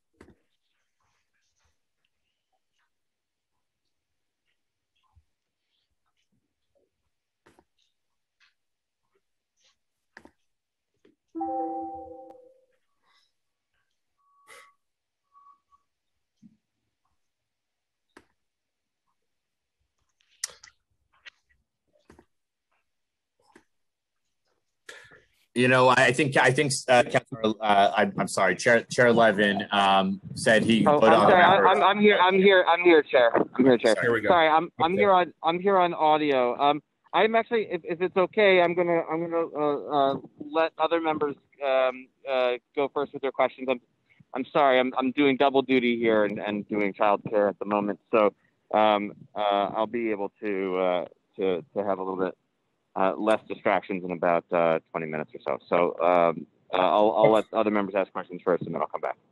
Okay, we will come back to you. So uh, first on our list for uh, committee members, we're going to turn to Councilmember Barron, and then Councilmember Cornegy also had his hand up, but we will start with Councilmember Barron. Time starts now. Uh, thank you to the chairs for holding this hearing, and thank you to the panel for coming and presenting testimony. I have a lot of questions. So there was reference made to passages and if you could please tell me as succinctly as possible, because I only have five minutes, how many facilities are secure and how many are limited or non-secure? Uh, two facilities are secure and the other five are um, uh, non-secure or limited secure. Okay, so when we get the data uh, regarding passages, can we disaggregate it to particularly the secure facilities? How many are at Horizons and uh, Crossroads? So there are uh, 37 students at Horizon right now and 71 students at Crossroads. This was as of last week. Okay. So I believe Crossroads is in uh, the adjoining district represented by Councilmember Alicka Ampry-Samuel. And I've had a chance to visit Horizons once and a chance to visit Crossroads twice. And particularly at Horizons, no, particularly at Crossroads, I was very impressed with what I saw in terms of instruction. Of course, this was pre pandemic, but I saw teachers who were very much in tune with making the curriculum relevant to the population of students that they were serving. There was one teacher who had used corrugated cardboard and uh, all kinds of little tapes or whatever to construct um, a facsimile of a boxing ring because they were having themed instruction. And the theme was boxing and, and that sport. And around the room, he had all kinds. I'm sorry, I don't remember his name, but uh, having been a teacher for 37 years and also been a assistant principal and administrative principal, that was an environment that was stimulating to the students. When we're talking now about moving to uh, packets of materials that are given to children who may in fact have uh, other kinds of needs and have an IEP, which is adjusted because they're only going to be there. If we're saying that a packet goes out every two weeks, that child may never in fact get a response to what he has done or she has done in that first packet. If it gets sent to the child, the child does it, sends it out. I don't know what the turnaround time is for someone to evaluate that packet and send it back and if the child is there for a period of 35 days, that's only really two packets that he's getting for that month that that child is there. That's not a system that works at all. There's no engagement at all in that kind of system. So we've got to find another way for those children who are, are not in any kind of hybrid learning situation to be able to take advantage of what it is that's being offered. I also wanted to go back and uh, I read an article that talked about students being uh, having their tablets removed because they had broken some policy. And I did hear reference to the fact that this is an incentive and we want to make sure that they're responsible for the equipment. But there still has to be another way. This is not, uh, you know, an extra. This is something that students need. And my other question gets to the fact of what is the real-time interaction that students have with their instructors. The article that I had read, which was printed in November or December, said students have to pose their questions via chat. If we're talking about a population of students that may already have some deficiencies in their academic performance, it's not the easiest thing in the world to chat via uh, typing your question into um, that format for someone to respond. So I do want to know what is the immediacy of turnaround for students who have questions to be able to get an immediate response. If not an immediate response, how long does that take? Is there any opportunity for students to interact with other students? Because that really is one of the best ways for students to learn, learning from each other, from their own experiences and knowledge. And the other question that I had, I think I heard an answer to the fact that the restraints at uh, Rikers are no longer being used. We did take a trip to Rikers many years ago uh, when Danny Dromm was the chair, and we saw those restraints, and they were horrible. I don't know how they would think that anyone would want to take advantage of an educational opportunity when they would have to be restrained in, Time that environment. Thank you. When they would have to be restrained in that environment to try to take advantage. So I'm glad to hear that that's no longer the case. But I do want to have an answer to those other questions about students having students who are remote having an opportunity other than through a chat to be able to interact with it with their students. Has that been changed? And how many students actually are using the blended or hybrid model? And can a student have immediate ability to connect with someone via phone? I heard someone in the testimony say that students can connect via phone. Is how, how immediate is that connection for students to be able to get information to their questions, academic questions from someone, or to reach out for uh, an immediate intervention, perhaps from a social worker? Thank you. Thank you, Councilman uh, Barron. Uh, thank you also for your comments on uh, Crossroads.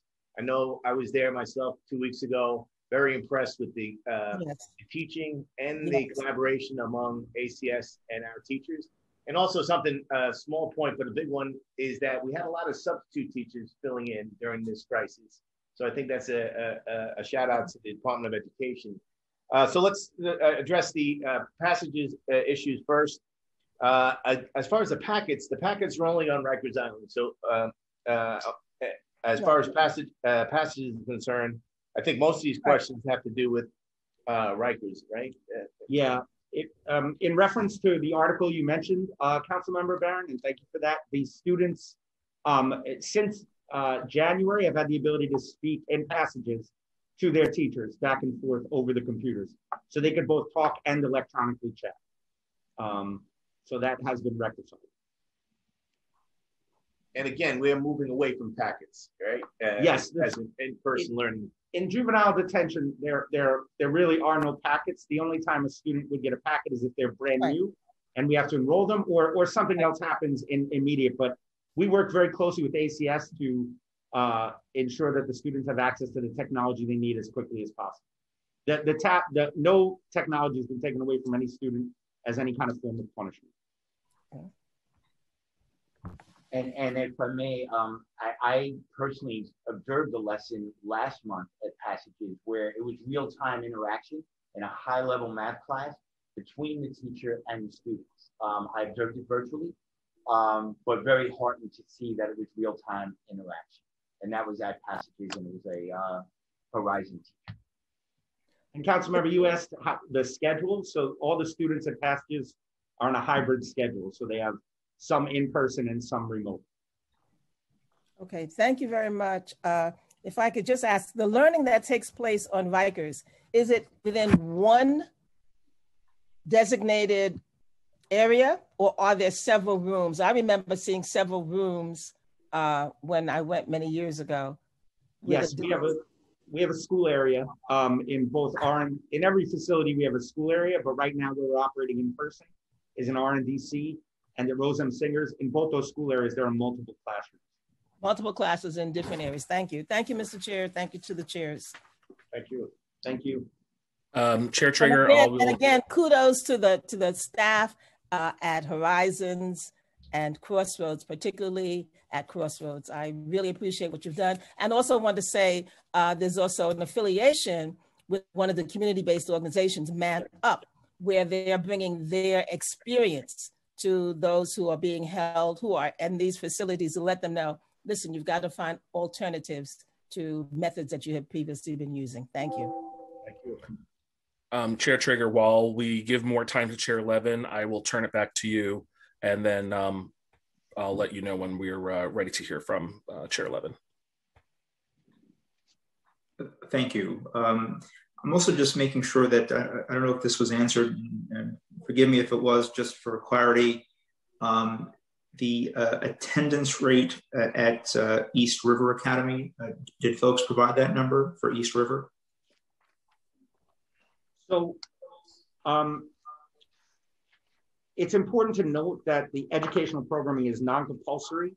And um, in terms of tracking daily attendance, because the uh, some students were on tablets while other students were on, in packets, it was impossible for us to accurately capture the daily attendance for the students who were working on a packet.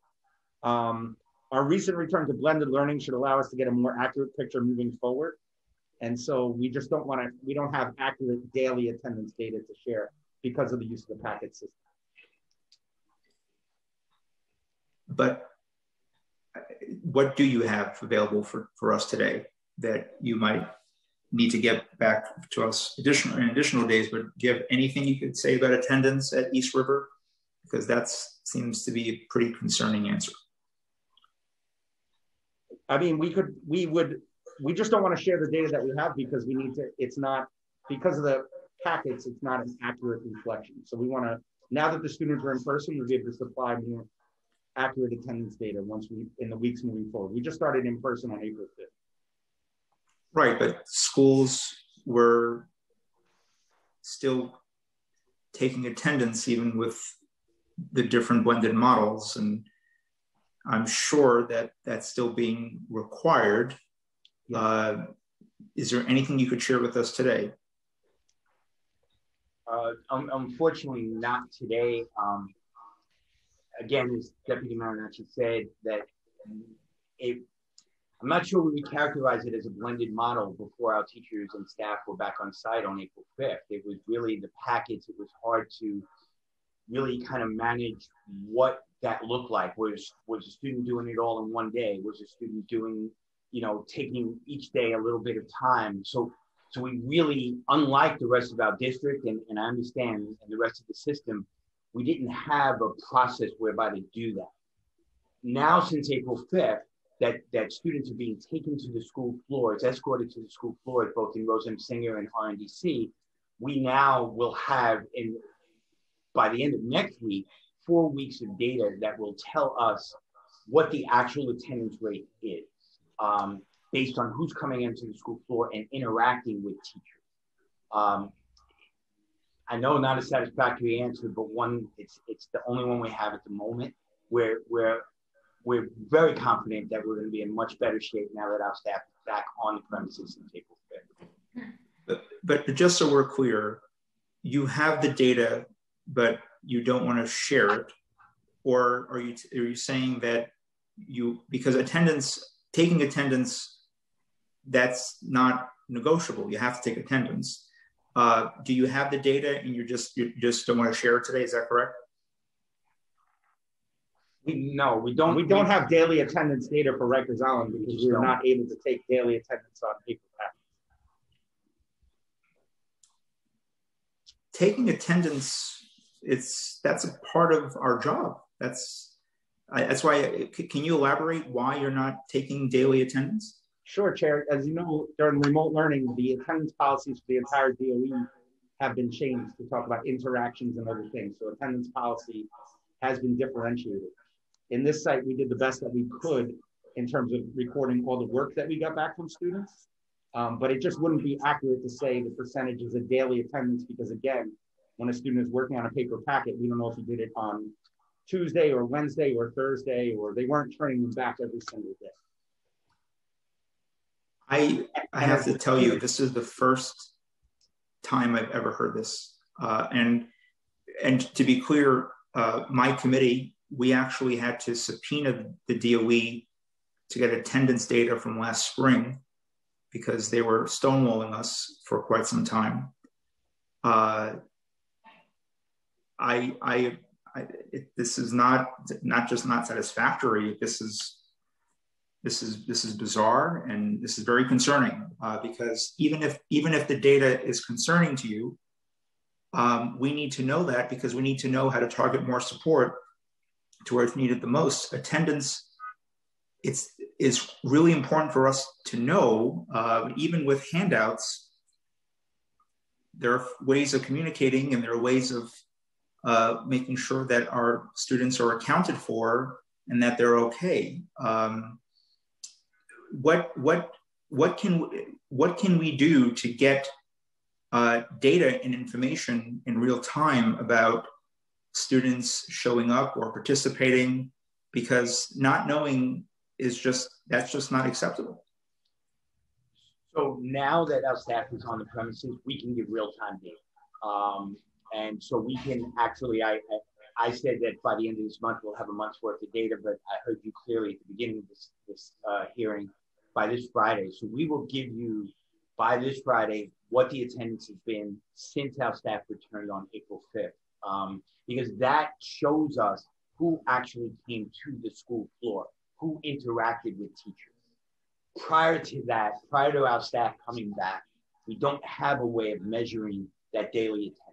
Um, I, I, can't really, I'm sorry, say anything more than that. It's not stonewalling, sir, please. We, are not, uh, we're sitting here with all sorts of data. It is a, a, a, totally unusual situation that existed at Rikers Island prior to us having staff back on April 5th. And our staff did not have the ability to reach out to students. Students are incarcerated in a housing area. You can't call a housing area the students would need to call us. Right, but you know, I, am just not sure if I can accept an answer that we just have had zero connection with students, like well, zero. We didn't have zero connection. That's not accurate.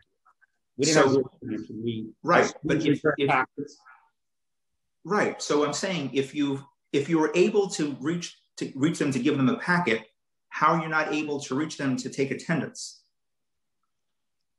We can gather information on the completion of the packet. We just couldn't. When you think about traditional attendance taking, it is is the person physically in a classroom on Wednesday, April 21st. That's there's no way for us to accurately reflect that through the use of the packet. And so we want to make sure whatever data we provide is accurate. There's no phone calls. There's nothing else that can be done. We can we can't we can defer to the DOC, who we work very closely with, AC Torres and ED King, because the phones were made available in the housing areas. We had staff always ready to engage and interact, but we didn't control the phones, and there's no number, unlike anywhere else in New York City, that we have an opportunity to call in. So it was always a call out, and so that whole structure is just so unusual that it, it's the completion of the packets that's our proxy for attendance, but gauging that interaction as we define attendance, even in a remote paradigm, we couldn't do with other than through those packets. We just couldn't do until our return on it. Right. So how would a social worker know who needs services? How, how did the social worker make connections during this time?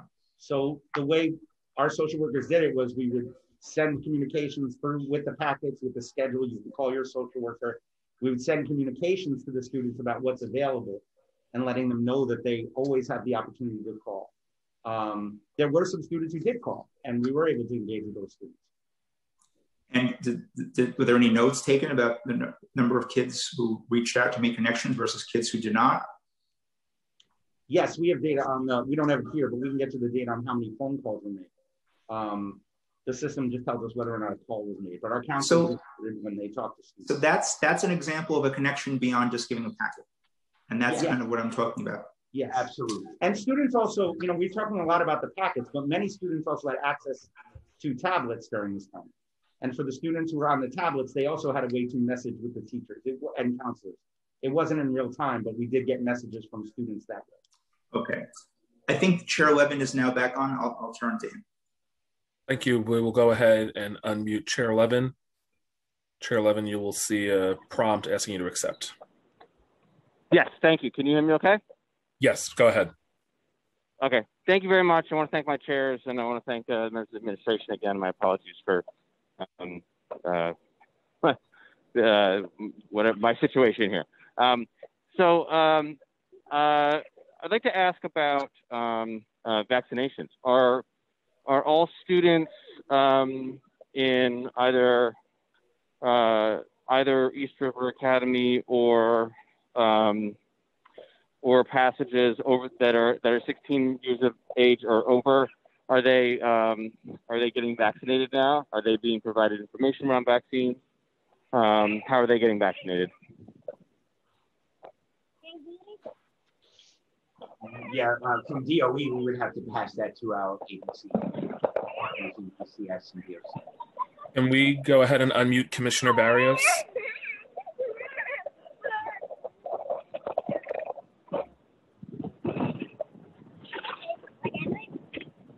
Thank you very much, um, Councilmember Levin. So a number of youth in our secure facilities have received their vaccine. As you know, the Pfizer vaccine is available for you 16 and over, and the Moderna vaccine is available for persons um, 18 and over. Okay. What with the ultimate inter, you know, with the ultimate goal of, of getting um, back into um, uh, in-person classes, um, vaccine is in, you know, is essential to that. What's the what's the process? How how are they how are they getting vaccinated? Uh, how many have been vaccinated? What percentage? Can you share any of that with us? Of the students in the schools?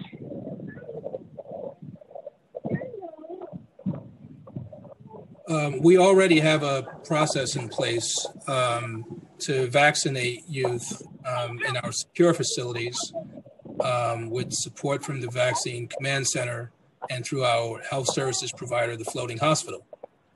Um, that process, however, requires um, both consent from the youth and the parent, assuming that young person mm-hmm. is about 16 and 17 years old and obviously use mm-hmm. their over consent for themselves.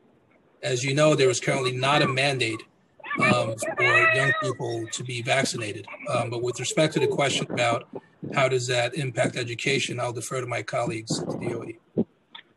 Okay, yeah, but but I, I do want to know some some numbers. I want to know how what percentage of youth at this at I want to know what percentage of students uh, uh, that are eligible for the vaccine, so 16 years of age or older, at passages, and then what percentage at East River Academy, um, who are all eligible for the vaccine, are vaccinated at least with one dose right now, and really would like to know one dose and two doses.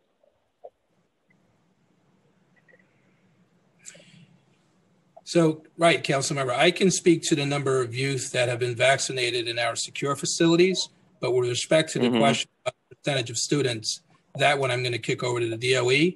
Um, currently, we've had six, seven youth total who have um, been vaccinated, um, us having obtained the necessary consents. Um, six of the seven have already received their second dose, um, and we are continuing efforts to try to um, provide the necessary information and education to both youth and parents um, so they can make an informed decision about getting vaccinated. Okay, but that, so that's seven, six or seven out of how many?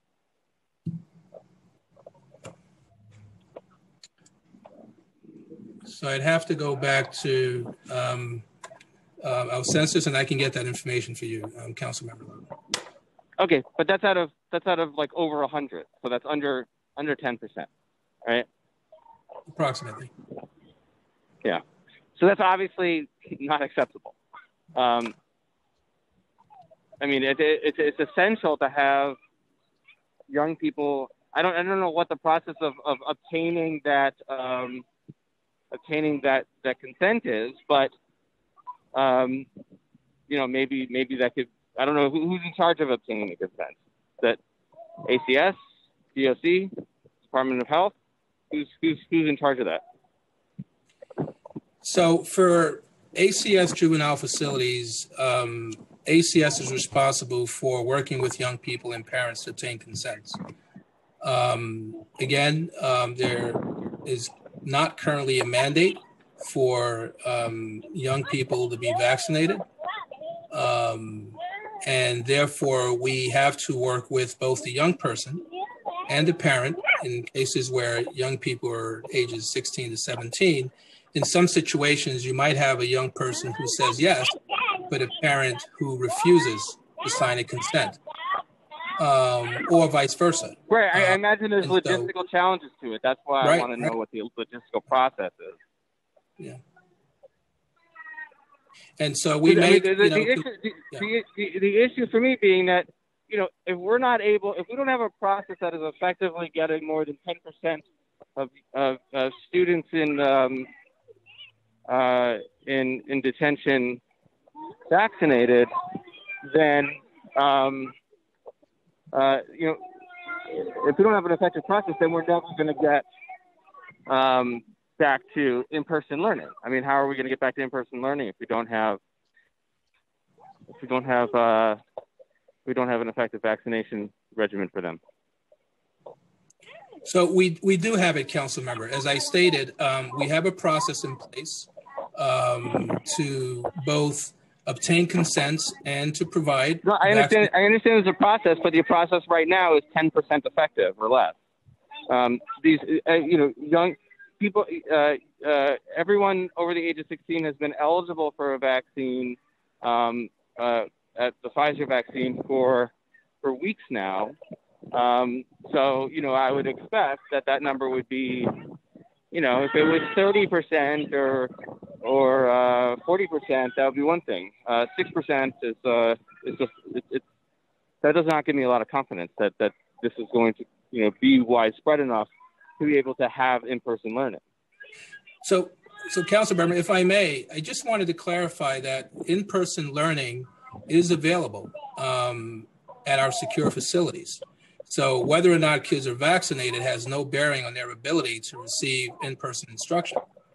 Um, but we will continue to make efforts, and we have, um, to speak with more young people and parents, um, to provide them with the necessary information um, to make an informed decision about getting the vaccination.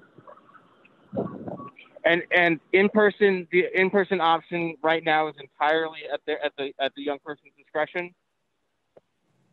No, sir. I'm going to defer to the DOE on that, but no. I think we need to refer to the DOC for uh, vaccinations on Rikers Island. Hi, this is Okay. Commissioner Torres from the DOC. I'll be more than happy to speak to our uh, provider, CHS, to be in a better position to give you any data related to vaccinations for the young adults. But you don't have it with you at, at your fingertips right now. Sir, I don't. Okay. Um, uh, um, and then sorry, back to my, my, my previous question. Then who, who's who who makes the, the decision as to whether a young person is remote or in person? Right now. Uh, all the students at Crossroads and Horizon are on a blended learning schedule. Uh, the schedule is by hall. So the when a when a hall comes down, when a hall is scheduled to come to school, the entire hall comes down to school. Can you repeat that last part again? I'm sorry. Uh, whenever a hall is called out to school or a housing area is called out to school, the entire hall is brought to school. You know, with the obvious exception of court or a medical issue. Okay.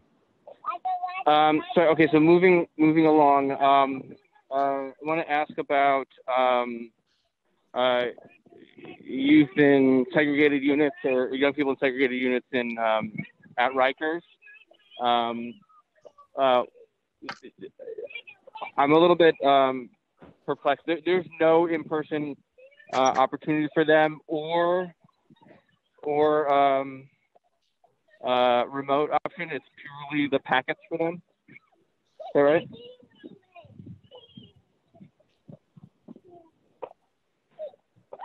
I'm sorry, were you asking us that question, Chair Levin?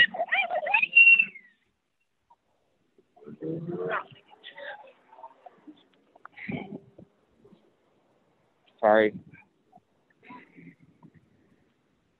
I'm asking. I'm, I'm asking uh, the Department of Education for the young for, for people that are in um, uh, that are that are in segregated units at Rikers um, the East River Academy. Is that are these um, I when you're talking with uh, uh, with Councilmember Powers, you mentioned um, you spoke about um, the the uh, the packets every two weeks.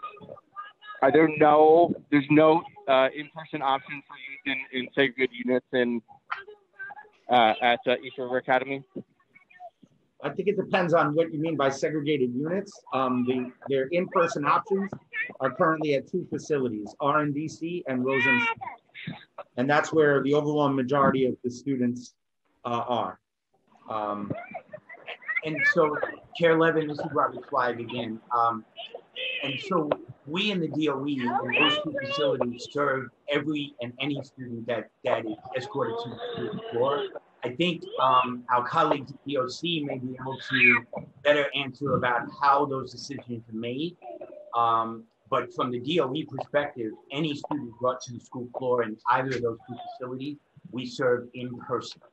Um, but who is escorted, I think is more of a DOC and perhaps our DOC colleagues can, can answer that a little more thoroughly.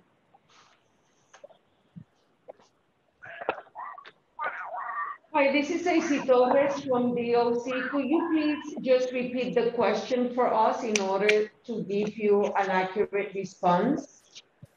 Sure. So, so students that are that are not in general population are in are in a segregated unit of some kind at Rikers, are they are they provided with the option of in-person learning? I think that that Councilmember Treyger, I mean Councilmember Councilmember Powers um, you had an entire back and forth with him around the the the packets that are available for uh, uh, that are given to those students. Well, thank you, Chair Levin. I, I think I understand your question. When it came to my statement to Chair Powers, I indicated to him that pre-pandemic, we had staff members from the Department of Education assigned to any of our um, restricted houses, which of course at the present time, um, due to staffing as well as the social distancing, we have not been able to, to do so. We are always, but sorry, sir? But are these, are these, are these, are these students uh, given uh, tablets? They are given presently learning packets as well as access. No, no, tablets, tablets. Why not tablets? Tablets? Why not tablets? So where we are right now in terms of one specific housing area or two housing areas, we always need to look into number one, connectivity, and also any security concerns that are posed to us by the commands. We are always willing to explore how best to provide educational services, but at this very moment, the only best option happens to be learning packets. That's not, that cannot possibly be the case. Why, explain to me why a learning packet is a better educational option than um, a remote learning through tablet? So if there are any security concerns, Chief Levin, we are not quick to actually give the tablets out. We are in fact discussing how best to move forward with that. We are not. Wait, I'm sorry. Can you? Can, wait. I'm sorry. Can you? Re, can, I'm sorry. Can you repeat that? Why? Why are you not giving the tablets out? Because there are some security concerns. Like what? What would be a concern, security concern? Well, we need to basically share with you that there are concerns with connectivity, there are concerns with how tablets could be destroyed and how in being destroyed, those components become sharp objects that can seriously, number one, hurt the individual who has been assigned to the tablet can hurt any other peers assigned to their housing areas as well as staff. So, so the, the concern is using a tablet as a weapon? Is that the concern? So the concern is dual. The concern is the possibility of security breach in terms of connectivity and as well as being used as a weapon. I'm sorry, I don't understand the, the connectivity issue. What's the connectivity issue? So there are areas within our facilities that even though we have created hotspots and we have gone out of our way to work closely with IT, that regardless of how much um, effort we've put together or forth, we are still unable to assign a tablet that will establish connectivity. But that's not a security issue. That's just a that's that's an IT problem. That's correct, sir. But we're a year into the pandemic and we haven't figured out the IT problem. So I'm sorry, but um, I might be at a loss, Chair Levin.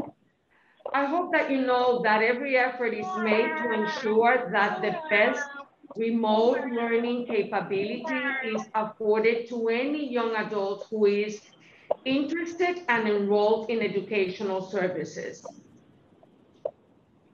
Okay, but I'm sorry, but you, you cited two issues. One is the security issue where they could potentially break the tablet and um, and use it as a weapon. I imagine the the glass a glass shard, for example, could be used as a weapon.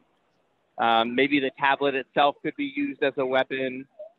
I think there's probably some way to address that issue uh, as a security issue.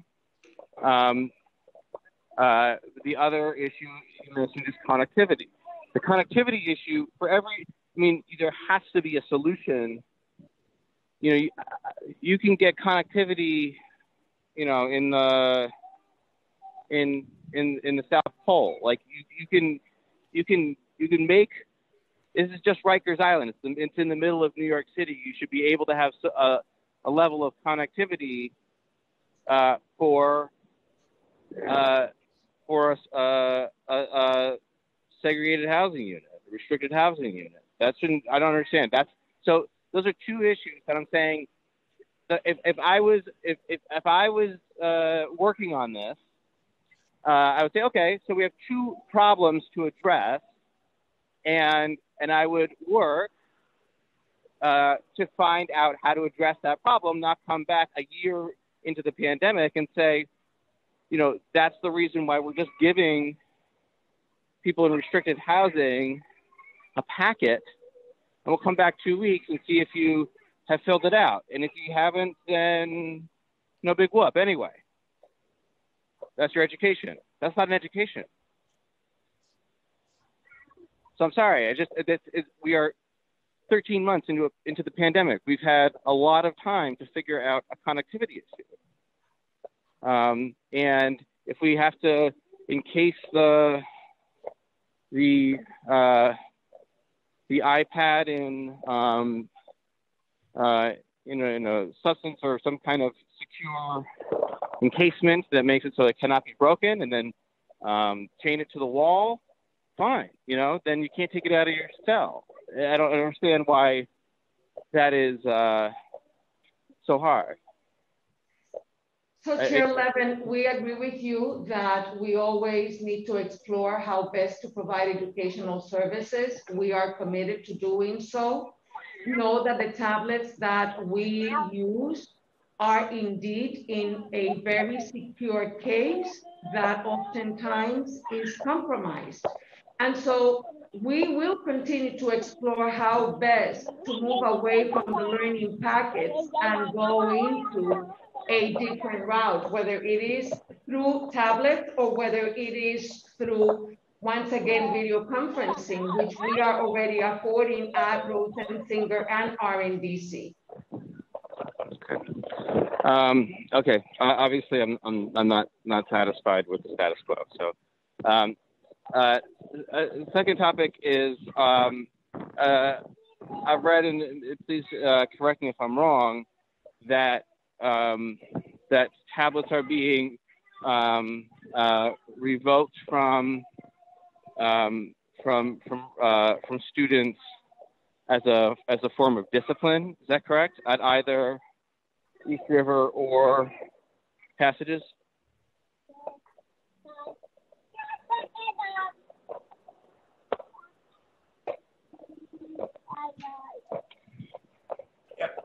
Can we get uh, Assistant Commissioner Barrios? Sure, if we could please unmute Commissioner Barrios. Thank you for the question, Councilmember Levin. Um, all youth in ACS's care are entitled to quality educational services, and we do not prevent any youth or students um, from participating in those services as a form of punishment. Um, as my colleagues at the ACS, uh, I'm sorry, the DOE noted earlier, um, all students are issued um, DOE Chromebooks um, for remote learning. Um, and ACS also provides um, tablets that are used for recreational and educational purposes. But under no circumstances do we um, take Chrome away from kids as a form of punishment. Nor tablets, nor Chromebooks. Nor, you're, you're, under no circumstances are tablets or Chromebooks removed as a form of discipline. Not for educational purposes, no, sir. Okay, it's the same. Is the same true for DOC? So when it comes to the DOC, we, Chair Levin, do not remove the tablet as a form of punishment. It is not what we do. The only time, and keep in mind, I, I don't know that, um, that I made myself clear before, but when it comes to the tablets that have been rerouted to educational services, those are tablets that originally were purchased as part of our positive behavior management system.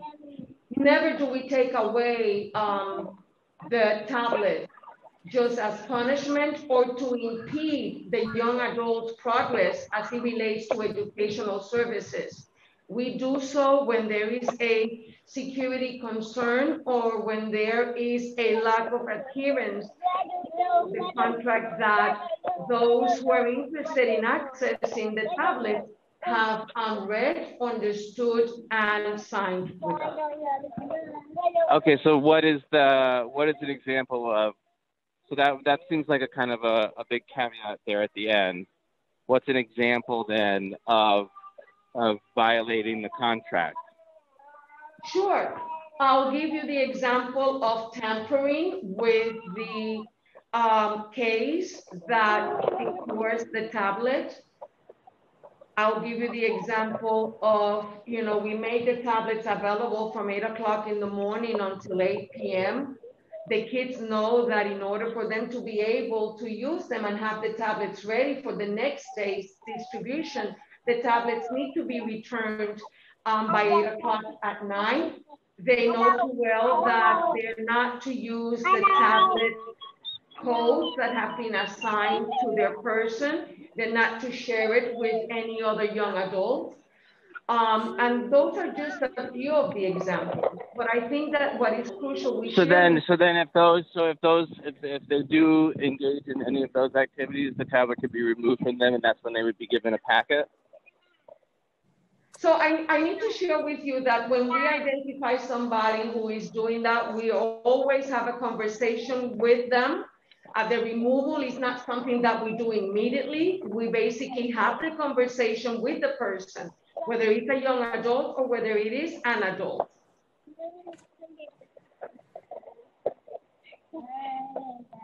And and then I'm sorry, is, they going back to ACS, is, ACS is different in that it's the, the the the Chromebook or the tablet is never removed from from the the student, or is there a similar contract? Um, no. So just to be clear, the Chromebooks and tablets are not um, taken away for educational um, purposes as a form of punishment. Now there were there was an instance recently and a few last year where um, a Chromebook was taken away for security reasons because youth with sophisticated technology skills were able to find a way to circumvent the security feature. And so in that situation, um, the Chromebook was retrieved, the matter was reviewed, and then um, immediately after the matter was resolved, the Chromebook was reissued. The only other instance where a Chromebook was retrieved was where a youth um, broke the Chromebook. Um, that Chromebook then had to be replaced. Um, but just mm-hmm. to be mm-hmm. clear, we don't remove the devices when they're being utilized for educational purposes as a form of punishment. Um, okay. Well, I, I appreciate uh, your answers and your time. I'm gonna I'm gonna turn it back over to my to my co-chairs um, and any other council members that may have questions. Appreciate your time. Thank you. Thank you, Chair Levin. Um, there are no other um, committee members that have questions, so I will turn it to Chair Powers before, and then to Chair Treyger to wrap things up.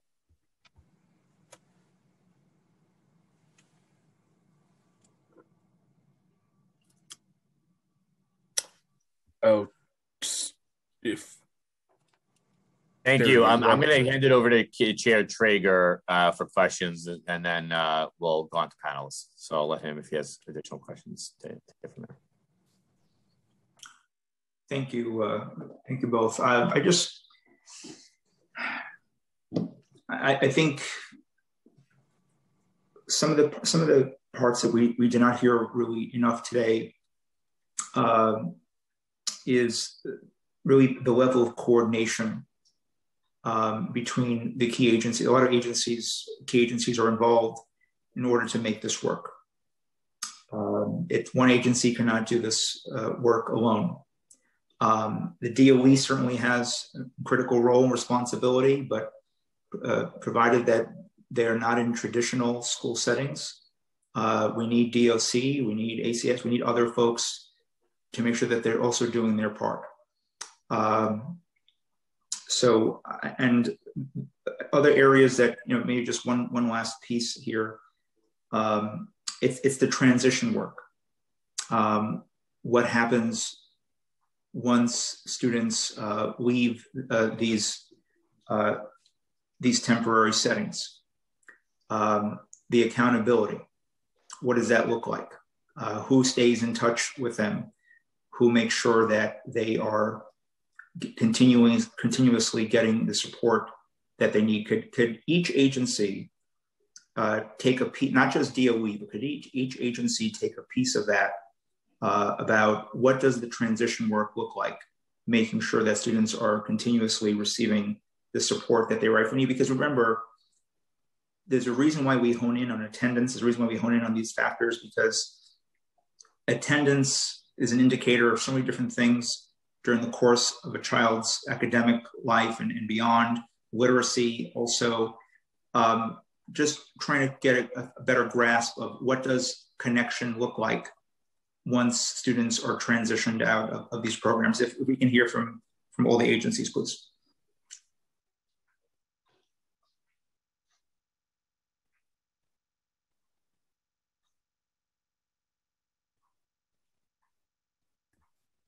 Uh, can we unmute the Department of Education? And also, I just want to acknowledge that Councilmember Dromm uh, has his hand up. I'm so glad you brought this up, uh, Chair Treyger. Thank you so much. Because again, I mentioned in my testimony in both uh, schools, the transition counselor follows the student for six months into the community. And the other big thing that we have is all these relationships. And, you know, during a crisis, these relationships really get manifested. You know, they, they, they, they uh, you don't develop relationships during a crisis, right? It comes out, meaning that we have all these different sites in every borough and as long as I've been doing this work, we have something called rerouting students because it may sound really good while they're in detention. Oh, I want to go to this school, and then they get there and it's not the right thing. Our people reroute them to another uh, another place. And again, uh, having District 79 with 40, 400, whatever you have, 400 sites, uh, there's all types of options like Superintendent Zweig uh, mentioned with CTE and, and uh, mental health. We have programs, high school equivalencies within mental health. Uh, so again, I want to really emphasize that six months follow up with with the students. And again, as you mentioned, it has to be collaboration because there's multiple needs of, of our students, right? Uh, I was at Covenant House yesterday. Again, we have a lot of students who are, uh, are homeless. Uh, again, so again, I think one of the best things that we have is that transitional piece and it starts day one and the last thing i wanted to say on this was you know when when spofford was around right uh, there was new york state teachers there and i was asked in 1998 to leave my uh, principalship on rikers island and open up Passage Academy uh, and have city teachers go into Spofford, right, instead of state teachers. And the superintendent said to me, have a dynamite ninth, ninth year program and some 10th grade will be fine. But we found a high percentage of overaged middle school students. And it broke my heart. You know, if you go to other counties, how many eighth graders do you have in, in, in, in lockup in, in jail? So we we for those students over again another indicator of dropping out is being left back right uh, being retained. So we started uh, restart middle school alternative middle schools because we said to the students don't go back to the school you weren't going to. You know uh, we have this brand new option. Restart middle schools are in high school so that the students don't feel like they're uh, uh, out of out of place. So I think we've made a lot of again it's, it's very hard, but that's the whole point of this is to get students transition into a school and, continue their education uh, after they get out. So I, am glad you brought that up, and, and I, it's something we continuously work on. We've invested a lot, a lot in. And, and Superintendent, just very quick follow up on that. Yeah. Um, in my experience in my district, um, when we had uh, situations with, with justice involved youth and families, um, one of the one of the so- sobering data points that I've come across is that the number of teenagers who um, have been through the system not once, not twice, not three times, not four times. I have young people who have been through the system over a dozen times, even more. Um, can you share with me from your experience um, some of the students who have gone through uh, these alternative settings do you see them again? Uh, yes. And uh, one of the things that we're really proud of, uh, you know, Judge Kaye um, dedicated her life to keeping kids out of uh, lockup and uh, in school, out of court. So when she passed away, we were asked to open a school in her name, and it's called Judith S. Kaye High School. And it's been very successful with uh, court involved youth. I think it's a real model because of three things. It has a high school uh, diploma track. It has a high school equivalency track. One of the bad things about transfer schools is that if you go to a transfer school and you want your high school equivalency, you got to transfer out of the transfer school you transferred into. Here you have the dual tracks together, and there's a third track that's uh, CTE. So again, uh, we did an analysis of Judith S. Kaye, and we looked at all the different sites the students were in and the mobility I think one year the average high schools the students have been in before they came to us was four years. So how do we break that cycle of, of being rearrested? I think one of the best ways is to get the students into a program that they're really interested in so they continue their education. But we definitely see the good news is we see less over the years. Again, when I was out at Rikers, right, we had 20,000 people on Rikers. That was crazy. Uh, so I think the city's done a great job, especially I want to give a shout out to probation. I know they're not here, but uh, they've done some great work and, and we have a lot of collaborations with them. So again, breaking the cycle, I think the key, and that's why people like us dedicated our lives to this, is a quality education and connecting students to a school that they, they're going to stick to and, and, and thrive in. I, I want to say in, in closing um, and turn over to Chair Powers that um, in my district in Coney Island, I think we spoke about this, um, we had to kind of break the mold for the adult education program uh, because the old programs were just not not working to meet the needs of, of, our of our families. And in our district, we partner with Opportunities for Better Tomorrow uh, to provide uh, free adult education classes in in Coney Island. So proximity matters.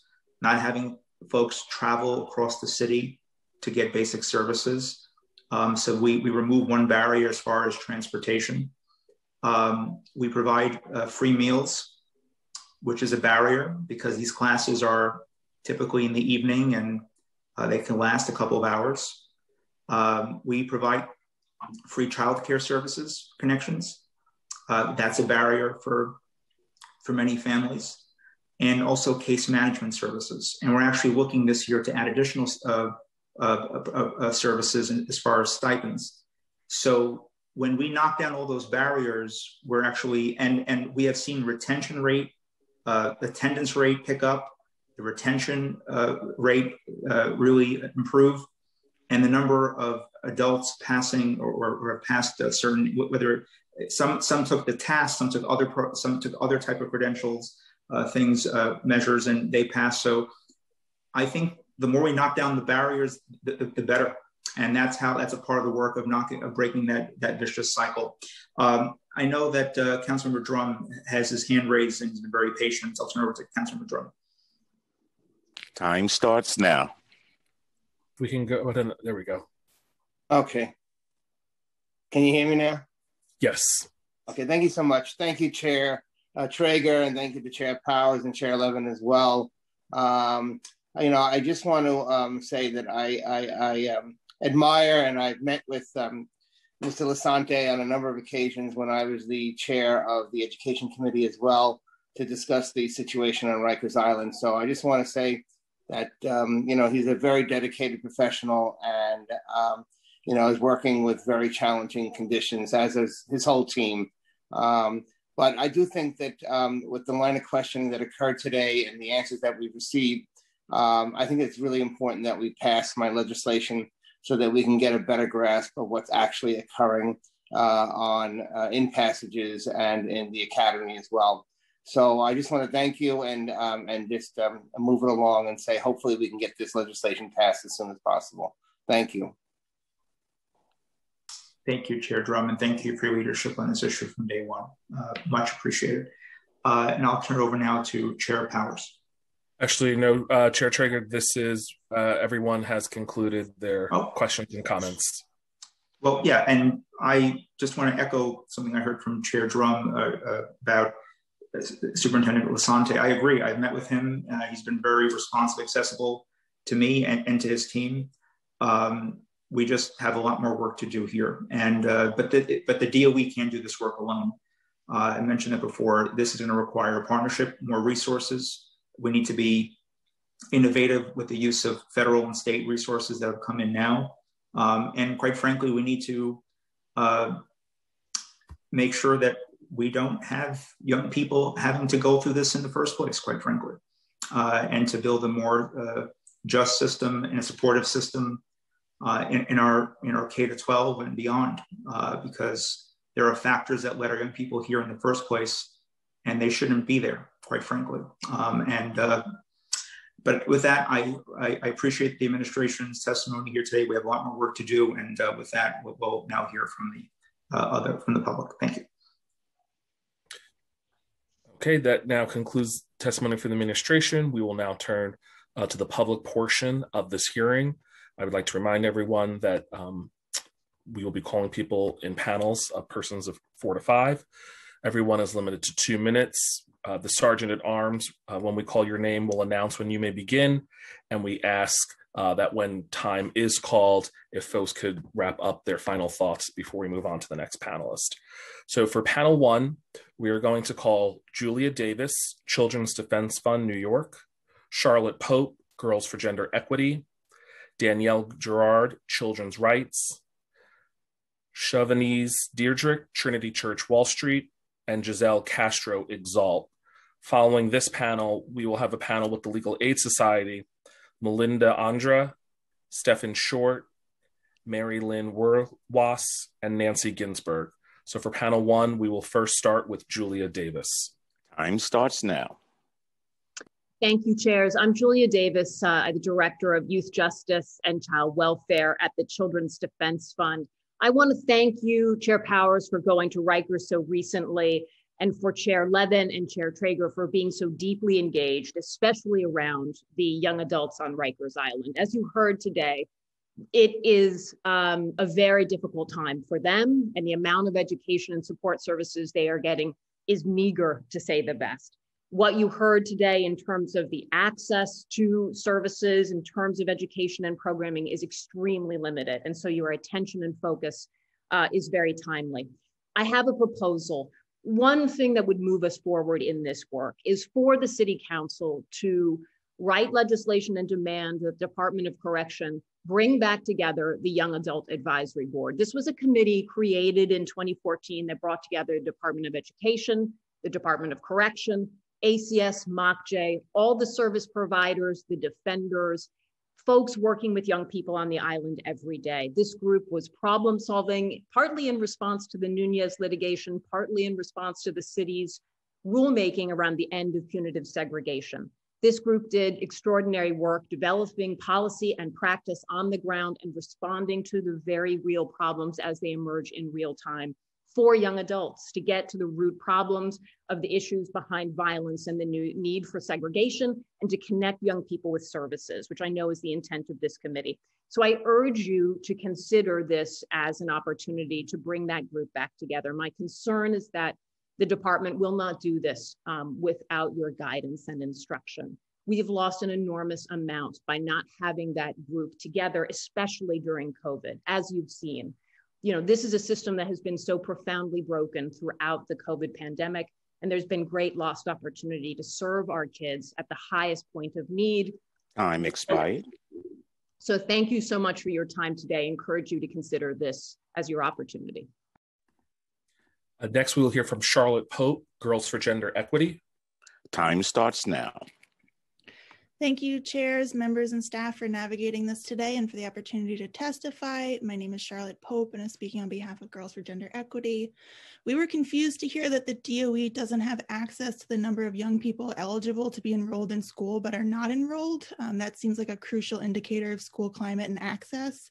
We appreciate the council continuing to hold the DOE accountable to supporting incarcerated young people, particularly those newly disconnected from schooling due to the pandemic, economic crisis, and resulting pushout. We want to mention that looking at the council's mandatory report on school counselors and social workers, that this school year, East River Academy saw a decrease in the number of support staff, down by three people, but that represents a quarter of that staffing. So we echo the concerns raised about retention. We support the legislation being considered today and expanding the scope of the law. We see in the 2020 report, DOC posted that 48 students were prevented from attending school, a jump from 17 students in the very first report. But because of how limiting that description is, we ask that intro 1224 be clarified, similar to the ways classroom removals or suspensions are reported under the Student Safety Act. So we're able to know the number of days, instances, and kinds of exclusions that are happening.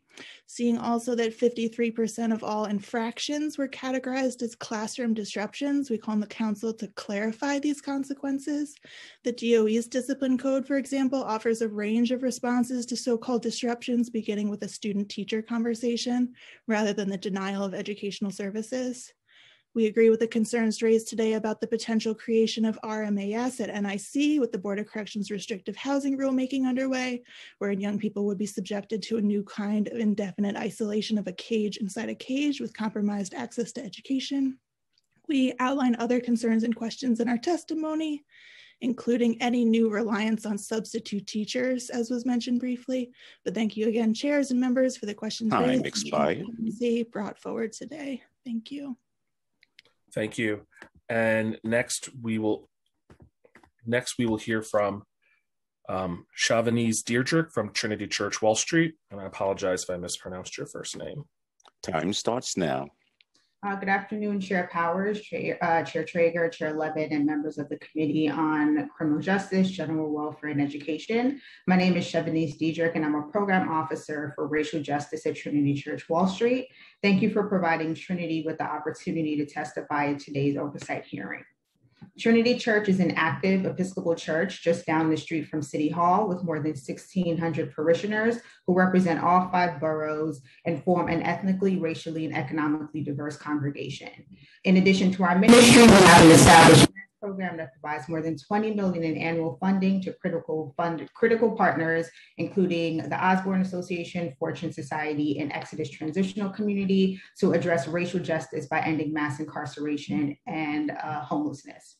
Last year, Trinity helped to form the Faith Communities for Just Reentry campaign, a coalition of over 40 faith leaders uh, across the city that seeks to address the urgent needs of justice involved individuals leaving city jails, as well as improve the city's support uh, and services for fellow New Yorkers reentering society following incarceration.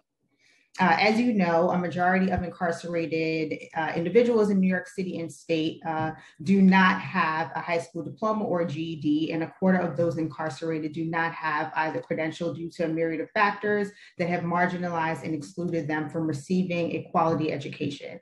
Um, the intersection between incarceration and barriers to education can cause significant harm to individuals um, who seek to find employment and stability.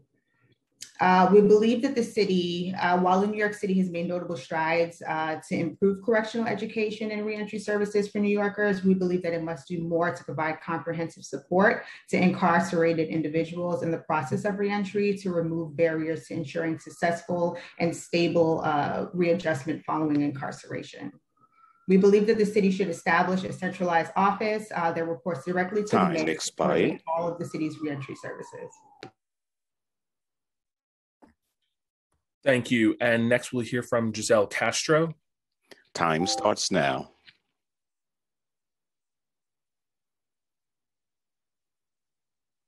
You'll see a, a box come up asking you to accept. There we go. Thank you. Thank you. Just did. Good afternoon, everyone. Good afternoon, um, Chairmen.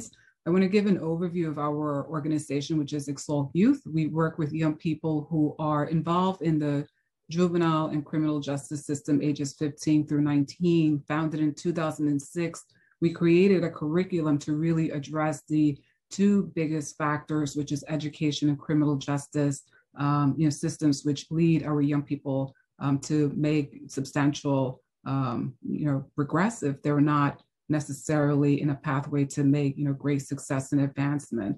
Overall, I want to highlight some of the things that uh, were addressed already this morning, which are the challenges that our young people face when they are in detention, and especially right now during a COVID and a pandemic era where so many young people have been left behind. Last year in March of 2020, and I cannot believe it is already almost a full year, Exalt, we pivoted into a virtual platform, making sure that our young people had access to not just a laptop, but also to their digital um, services.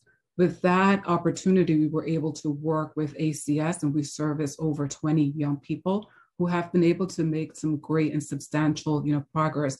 It is our hope as an organization that services the five boroughs to have an opportunity to make a greater impact, knowing and understanding that our young people who are detained at this moment, they have multiple, multiple challenges and multiple barriers to make substantial progress, hopefully when they resume to school um, in the beginning of the fall. Um, very quickly, I want to give an overview of our model. Um, I have the testimony. If folks want to read it, um, they will be able to do so. But uh, in the nat- in the last few years, we have been able to not just support young people who have been in the close to home facility, but we have been able to work with young people who have been time expired 79 and in other um, you know, school systems to make sure that our young people are not just making gains academically, but moving away from the criminal justice system. And my time expired. Once again, thank you all so much for this opportunity. Thank you. And I do just want to remind everyone that folks can make sure that they submit their written testimony to testimony at council.nyc.gov. We accept testimony up to 72 hours uh, after the close of this hearing. Uh, the next panel will be from the Legal Aid Society, Melinda Andra, Stephen Short, Mary Lynn Werlwas, and Nancy Ginsburg. We will first start with Melinda. Time starts now. Hi, um, good afternoon. My name is Melinda Andra. I'm an attorney in the Education Advocacy Project of the Juvenile Rights Division of the Legal Aid Society. We very much appreciate the City Council's efforts to provide adequate funding and oversight for the DOE, and in particular, we appreciate the City Council's attention to the needs of children and youth who are incarcerated and who, as um, Councilman Treyger pointed out, are among the most vulnerable of New York City's children. Um, a 2014 Vera study, study by the Vera Institute indicated that up to 85% of those children that were incarcerated um, identified as having suffered traumatic events, including abuse, neglect, and contact with domestic violence. Um, when screened, up to a third of, the, a third of those children um, were found to have PTSD and depression. So this is a very vulnerable group of students. Um, as Mr. Lisante pointed out, about 65% of the children at Passages Academy, which is a school that serves children under 18 that are in secure, non-secure, and limited secure detention, um, do have disabilities, have, have been identified as having learning disabilities. A great number of students that have not been identified also are behind in their academic skills for a variety of reasons and perhaps have not been had tested um, or have other factors that have led to them being behind in their um, academic achievement. So this is an extremely vulnerable group of students. And while the students at Passages Academy are now receiving some in-person instruction, um, it is important to note that that has not been the case throughout the pandemic. Um, from March 16th through the summer of 2020, students attending Passages Academy did not have any contact with their teachers unless they made the affirmative time expired attempt, excuse me, to reach out to them. Um, and many students who required individualized attention did not receive it. It was only in September when students at Passages were able to see and hear their teachers and only in February were they able to speak with their teachers through the microphones in their devices. So we are asking that the City Council um, continue to support the Passages Academy and to um, do its utmost to remediate the learning loss that these students have suffered by ensure, doing its utmost to ensure that the DOE provide daily in-person instruction to these students um, and to ensure that funding is provided to con ensure continuation of the tutoring programs that have been established for them beyond the 2021 school year. We also ask that the DOE create a system for quickly determining and delivering compensatory educational services to students with disabilities that did not receive the full amount of special education services to which they were entitled. Thank you very much. Thank you. And next we'll hear from Stephen Short. Time starts now.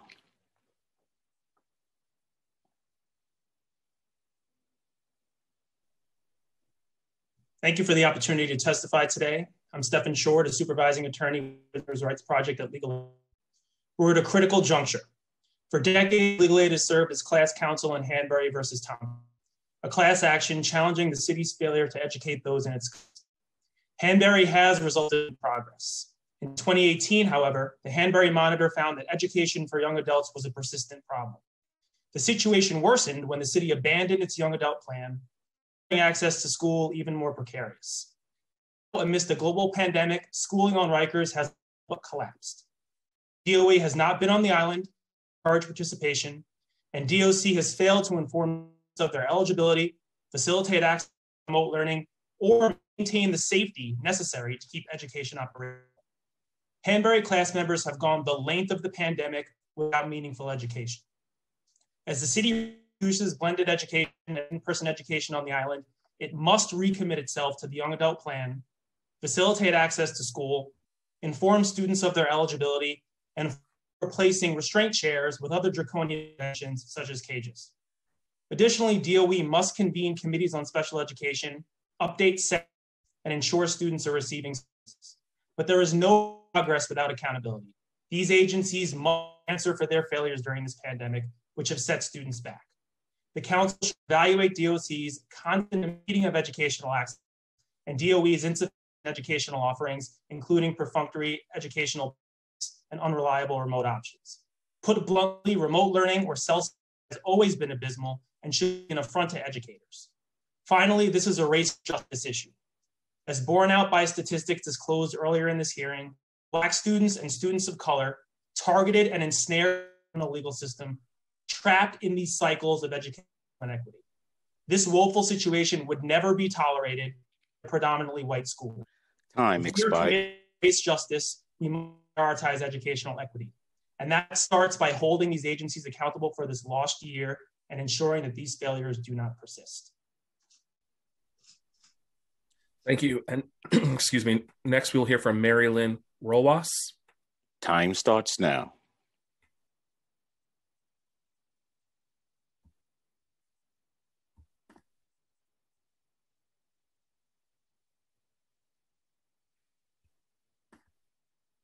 Oh, Marilyn, one moment. Sorry, you should see a window come up asking you to accept the unmute. Thank you. Okay.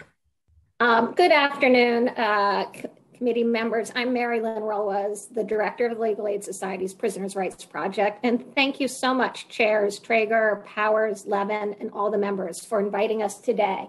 Uh, Mr. Short provided you with some of our recommendations for education that are rooted in our role as class counsel and Handberry, but equally relevant.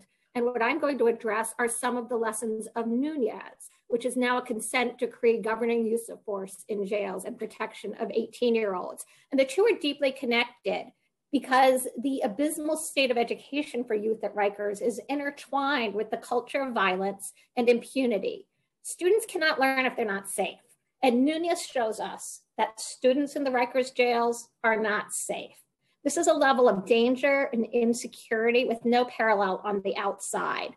And as a New York City public school parent myself, I will add, I am certain that there's no school in the community that at any point in this horrible last year would have tolerated biweekly packets to be a substitute for education.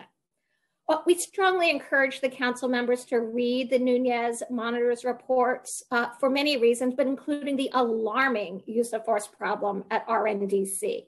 The use of force rate there, which controls her population, went up 200% between 2016 and 2020 for 19 to 21 year olds. A significant driver of this violence is staff instigation of conflicts and over reliance on probe teams and alarms, and the department's operational decisions to default to placing youth in highly restrictive settings where education demonstrably cannot be provided. If the Department of Correction does not demand competence from its supervisors and leadership in implementation of the school program and reduction of violence, Time it will not reduce the violence in our jails and will fail the students who are trying to learn there. Then there's just no excuse for the failure to hold supervisory staff, wardens, deputy wardens, captains responsible for what is happening in these facilities. Thank you. Thank you. And finally, we will hear from Nancy Ginsburg. Time starts now.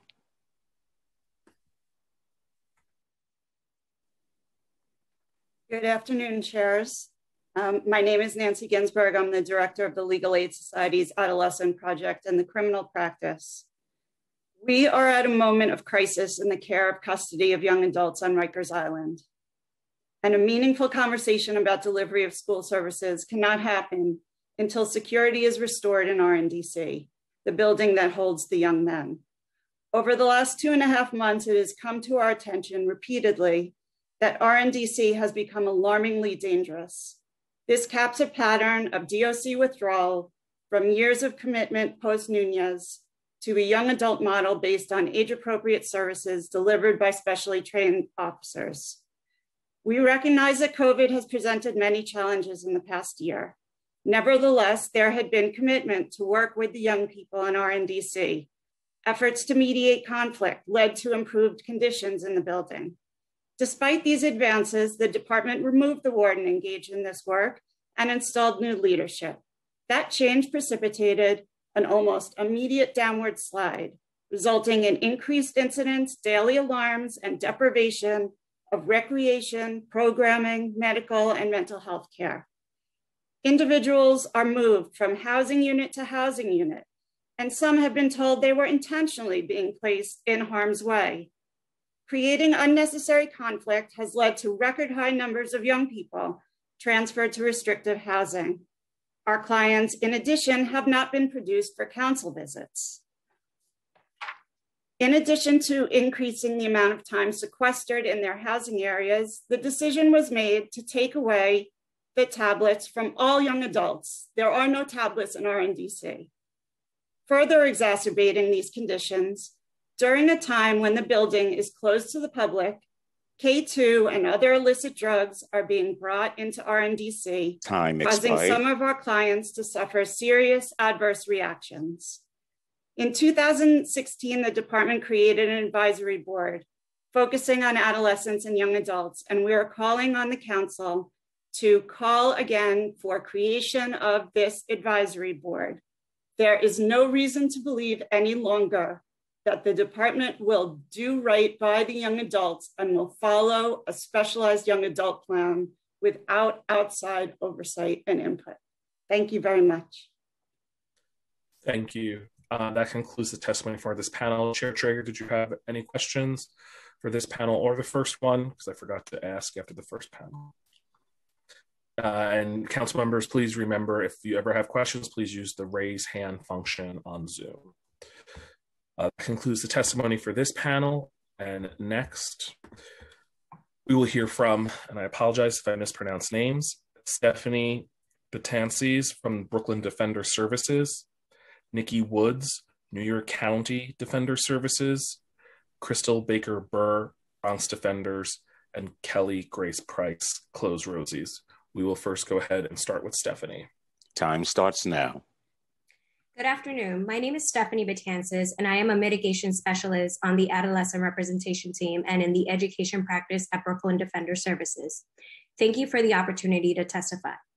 BDS's adolescent representation team works to eliminate contact and involvement within the le- criminal legal system for youth aged 21 and under through legal representation, advocacy, and social work services.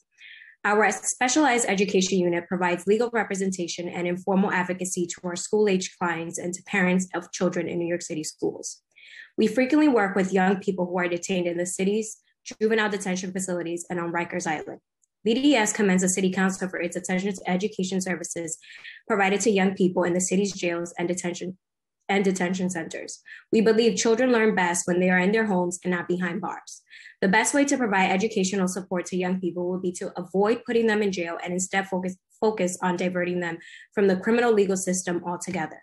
But as long as young people continue to be incarcerated, there are many ways the education provided to them can be improved. For over a year, young people have, have been held on Rikers Island with virtually no programming and only minimal education services available to them. Despite the fact that young people on Rikers Island have the right to receive education services, most young people have received no life instruction whatsoever. And many of the young people our office works with were not even aware education services were supposed to be available to them. Even prior to the pandemic, young people were, young people told us that they were never made aware of their eligibility for school or were not brought to school even when they were signed up. For years, BDS has advocated for young people on Rikers Island who have struggled with education access to receive the services they're entitled to. Despite significant advocacy on our end, we have heard many stories of DOC failing to bring young people to school. The young people we serve have often gone days or even weeks at a time without attending school because DOC staff failed to bring them to school. DOC needs to do better and work to ensure everyone who wants school can access it. The young people who work with expired. passages have more have had more success attending school during the pandemic, and we appreciate the work that DOE has done to ensure educational access for these students is available. But we have seen problems there as well. Many young people report feeling report feeling unengaged with what they're learning or the work does not feel as if it's appropriate level. Some students tell us that they are getting work without sufficient instruction while others feel the work is too easy, like they're just being given busy work. ACS and DOE should work together to improve programming at Passages Academy, providing more targeted supports for those students who need them to, and varied engaging age appropriate programming for those who desire. We have expanded upon many of these concerns and recommendations in our written testimony. Thank you for the opportunity to testify today on this very important topic, and I'm happy to answer any questions. Thank you. And next we'll hear from Nikki Woods, New York County Defender Services. Time starts now. Good afternoon. Thank you, Chairs Treyger, Levin, and Powers for holding this hearing. My name is Nikki Woods, and I am a senior trial attorney with the Juvenile Defense Unit at New York County Defender Services. My unit represents raised age children in felony cases in both criminal and family court. I generally do not have clients on Rikers Island. First, I would like to offer our support for Intro 1224. This change in local law would produce data showing how existing educational and vocational programs offered to youth in juvenile detention fail to accommodate the needs of our older youth in custody.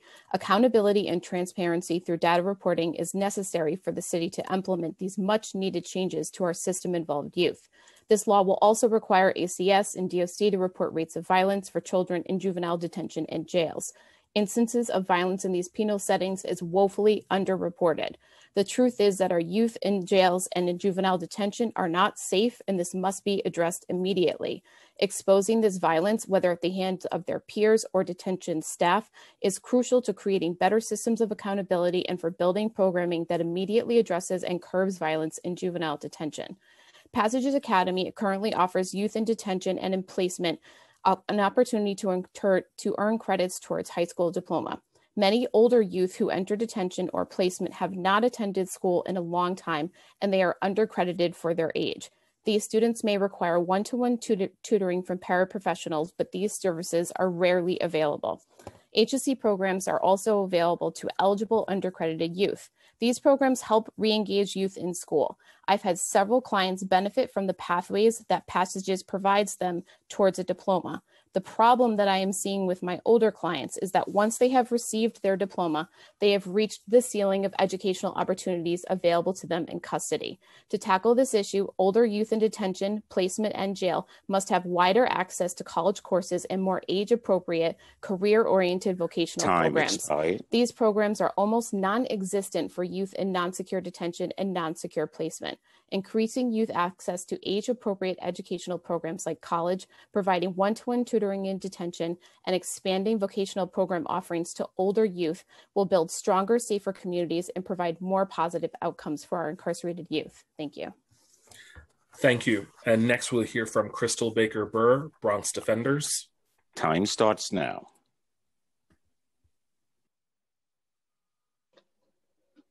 Thank you, Chairs Treyger, Powers, and Levin and the members of the committees for the opportunity to speak to you today.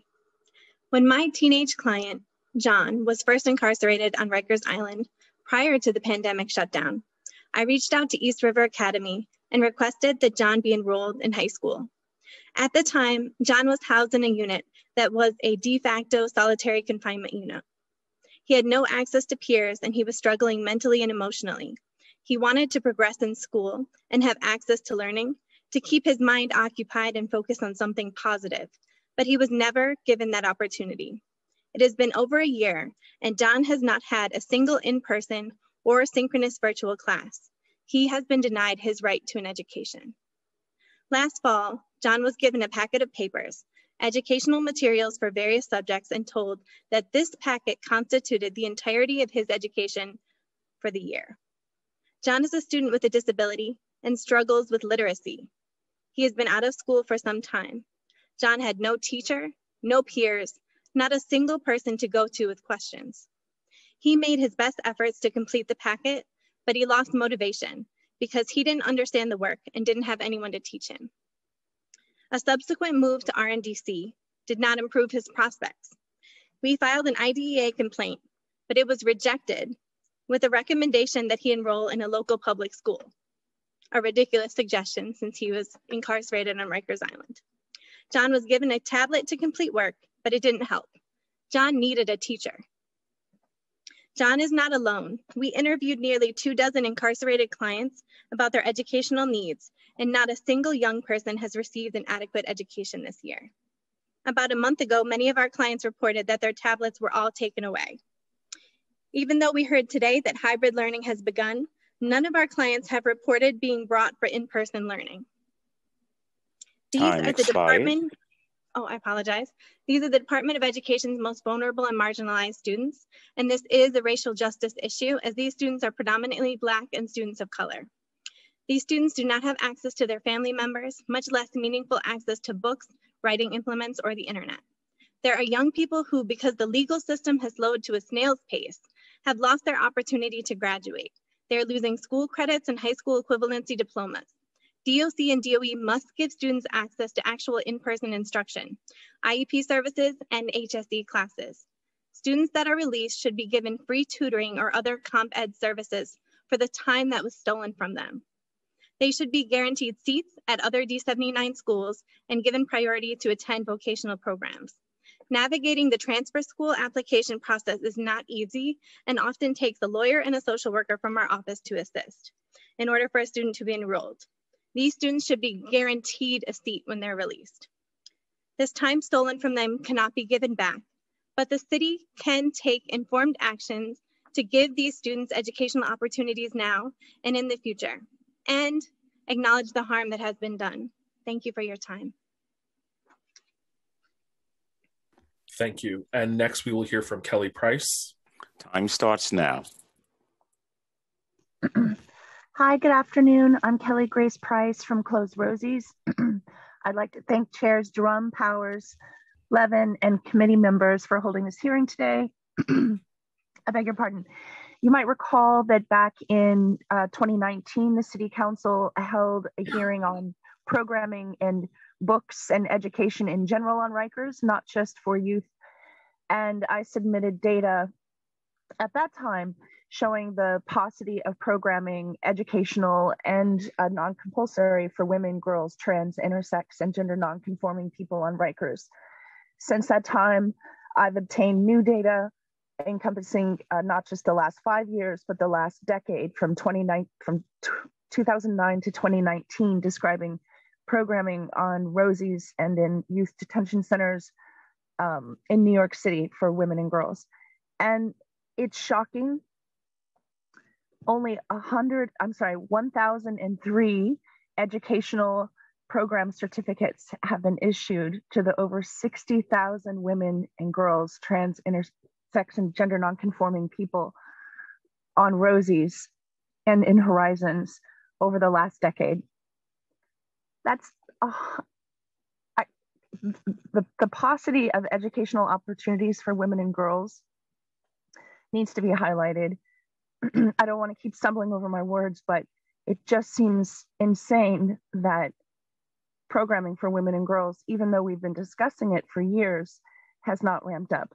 The latest st- statistics from DOC show that more educational opportunities are being provided for youth and adolescent women and girls than um, for, for adolescents at an alarming rate. Actually, 95% of all programs are offered to youth and adolescents instead of adults on Rikers, which in itself is a problem. But I am happy that, that youth is getting time expired. I'll turn in my um, testimony with my data, but I wanted to point out that we had a hearing last year about connectivity on Rikers, um, specifically uh, about visiting, so that there were there was connectivity in all units for for visiting or on all jails. And I'll refer you back to that testimony. Please listen to it carefully because the DOC did promise internet connectivity ubiquitously throughout the island back in, I believe, um, in April or a May 2020 uh, Board of Correction hearing. Thank you so much. And as always, I'll upload my testimony. Thank you. Uh, Councilmember Dromm has a question. If we can go ahead and unmute Councilmember Dromm. Thank you very much. Uh, thank you, Grace, for your testimony also. My question is really to Crystal Baker Burr. Is she still here? Hi, Crystal. Who, who are you with again? I'm with the Bronx Defenders. Okay. And this uh, case, John, that you mentioned, am I right?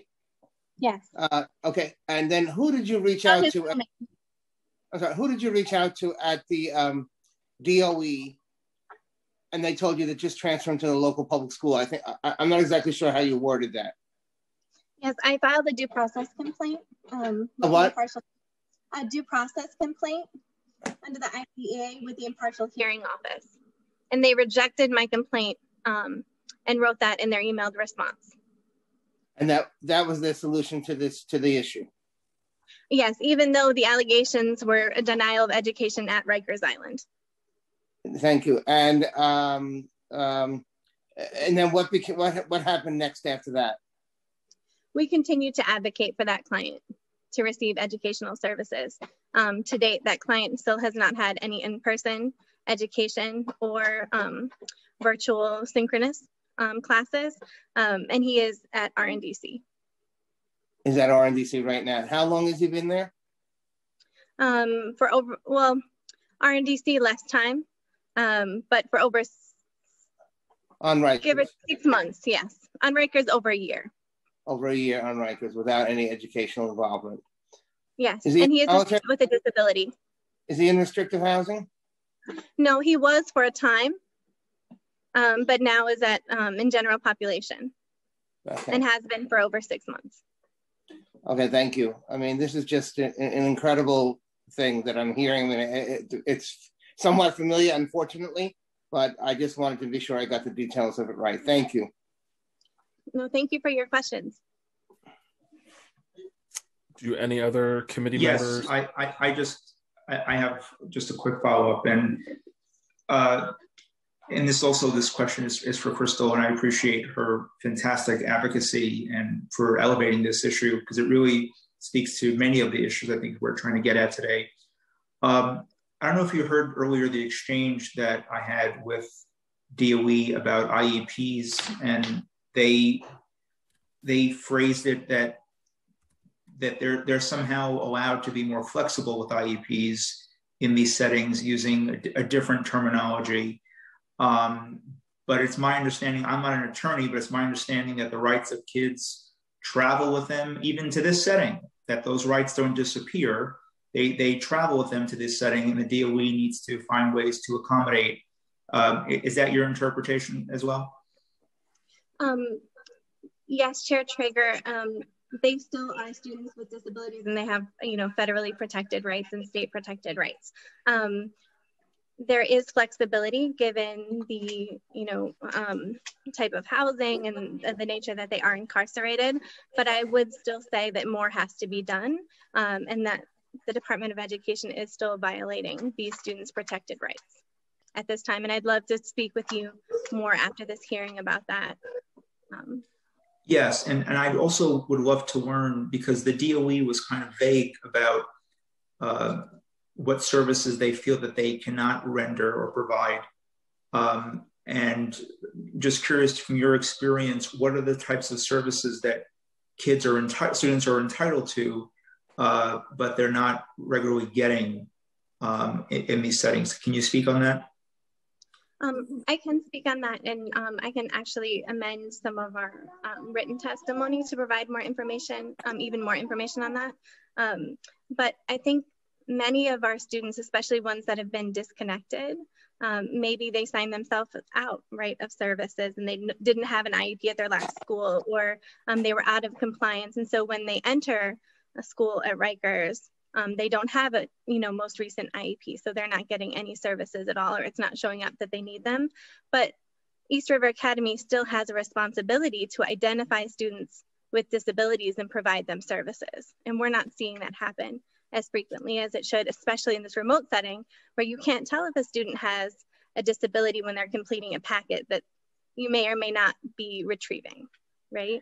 But they still have that responsibility to identify those disabilities and provide services to those students. And Crystal, in, in the in the uh, I guess in the in the traditional settings, uh, when you're talking about an IEP, uh, there's a school psychologist involved. Can you speak to, to the extent that school that school psychologists are involved here, because that is also part of the mandated process? Uh, can you speak about that?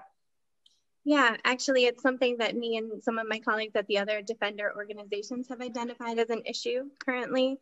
We have clients that do need to be reevaluated, right? They haven't been evaluated, some of them since middle school. Um, and now they're 18 and 19 and still need support services to learn, right?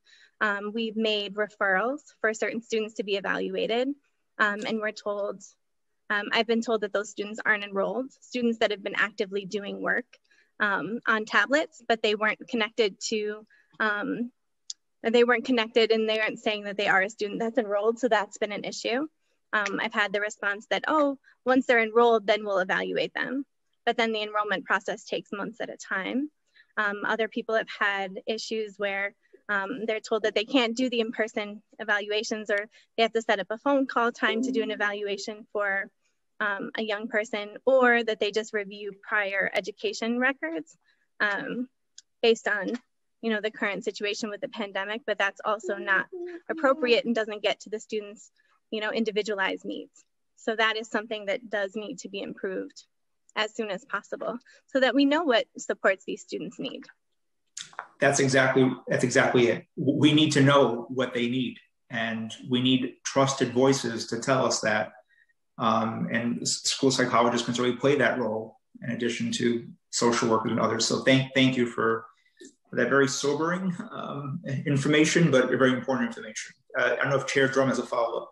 He does, and also just for the record, we just want to um, say that we were joined by Councilmember Salamanca, but Councilmember Dromm. Time uh, starts now. If we could re-unmute him. Yeah, just very quickly, uh, Crystal, did you bring this to the attention of Mr. Lisante? We've been in um, communication with leadership in District 79. Um, Mr. Lisante has been very helpful on um, many different issues. He's he's wonderful, but he is one one person, right? Um, and we believe that these issues are more broad spread than just one individual client, um, and they're they're systemic issues across the board. Yeah. Okay. Thank you. Um, seeing no other council members uh, raising their hands, uh, if there are any members of the public that we inadvertently missed in calling, if you could please use the raised hand function on Zoom, we will call you to testify now. Seeing none, uh, Chair Treyger, I will turn it back to you for closing remarks. I uh, just want to, I, I want to actually begin by just thanking uh, Chair Dromm. Uh, Chair Dromm highlighted many of these pressing issues and has never forgotten about them, and continues to, to fight, continues to push through legislation, action, advocacy. Uh, he continues to be a, a, great resource for me. I am a lifelong learner, and I am learning from Chair Dromm. And I'm very grateful for him for always centering the most vulnerable, marginalized students. And um, I shared before, and I, again, I want to thank uh, all the amazing advocates and organizations for amplifying the sense of urgency here. I mentioned before about the young people in my district where it's it's not once through the system, it's not twice, it's three, time four, it's so many.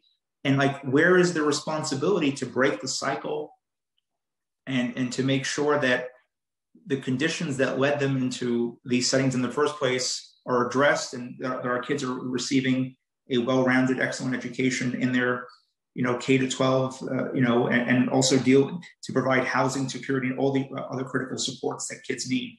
Um, and that's why we have so much more work to do to really fix this entire school system, but centering the kids who need help, the students who need help the most. So I just want to thank Chair Dromm for always centering that sense of equity and, and, and uh, I really appreciate him. And again, thank my co-chairs, uh, Chair Powers, Chair Levin, for their great work with their committees, uh, and to all my colleagues thank the committee staff. And, uh, and with that, uh, this hearing is adjourned.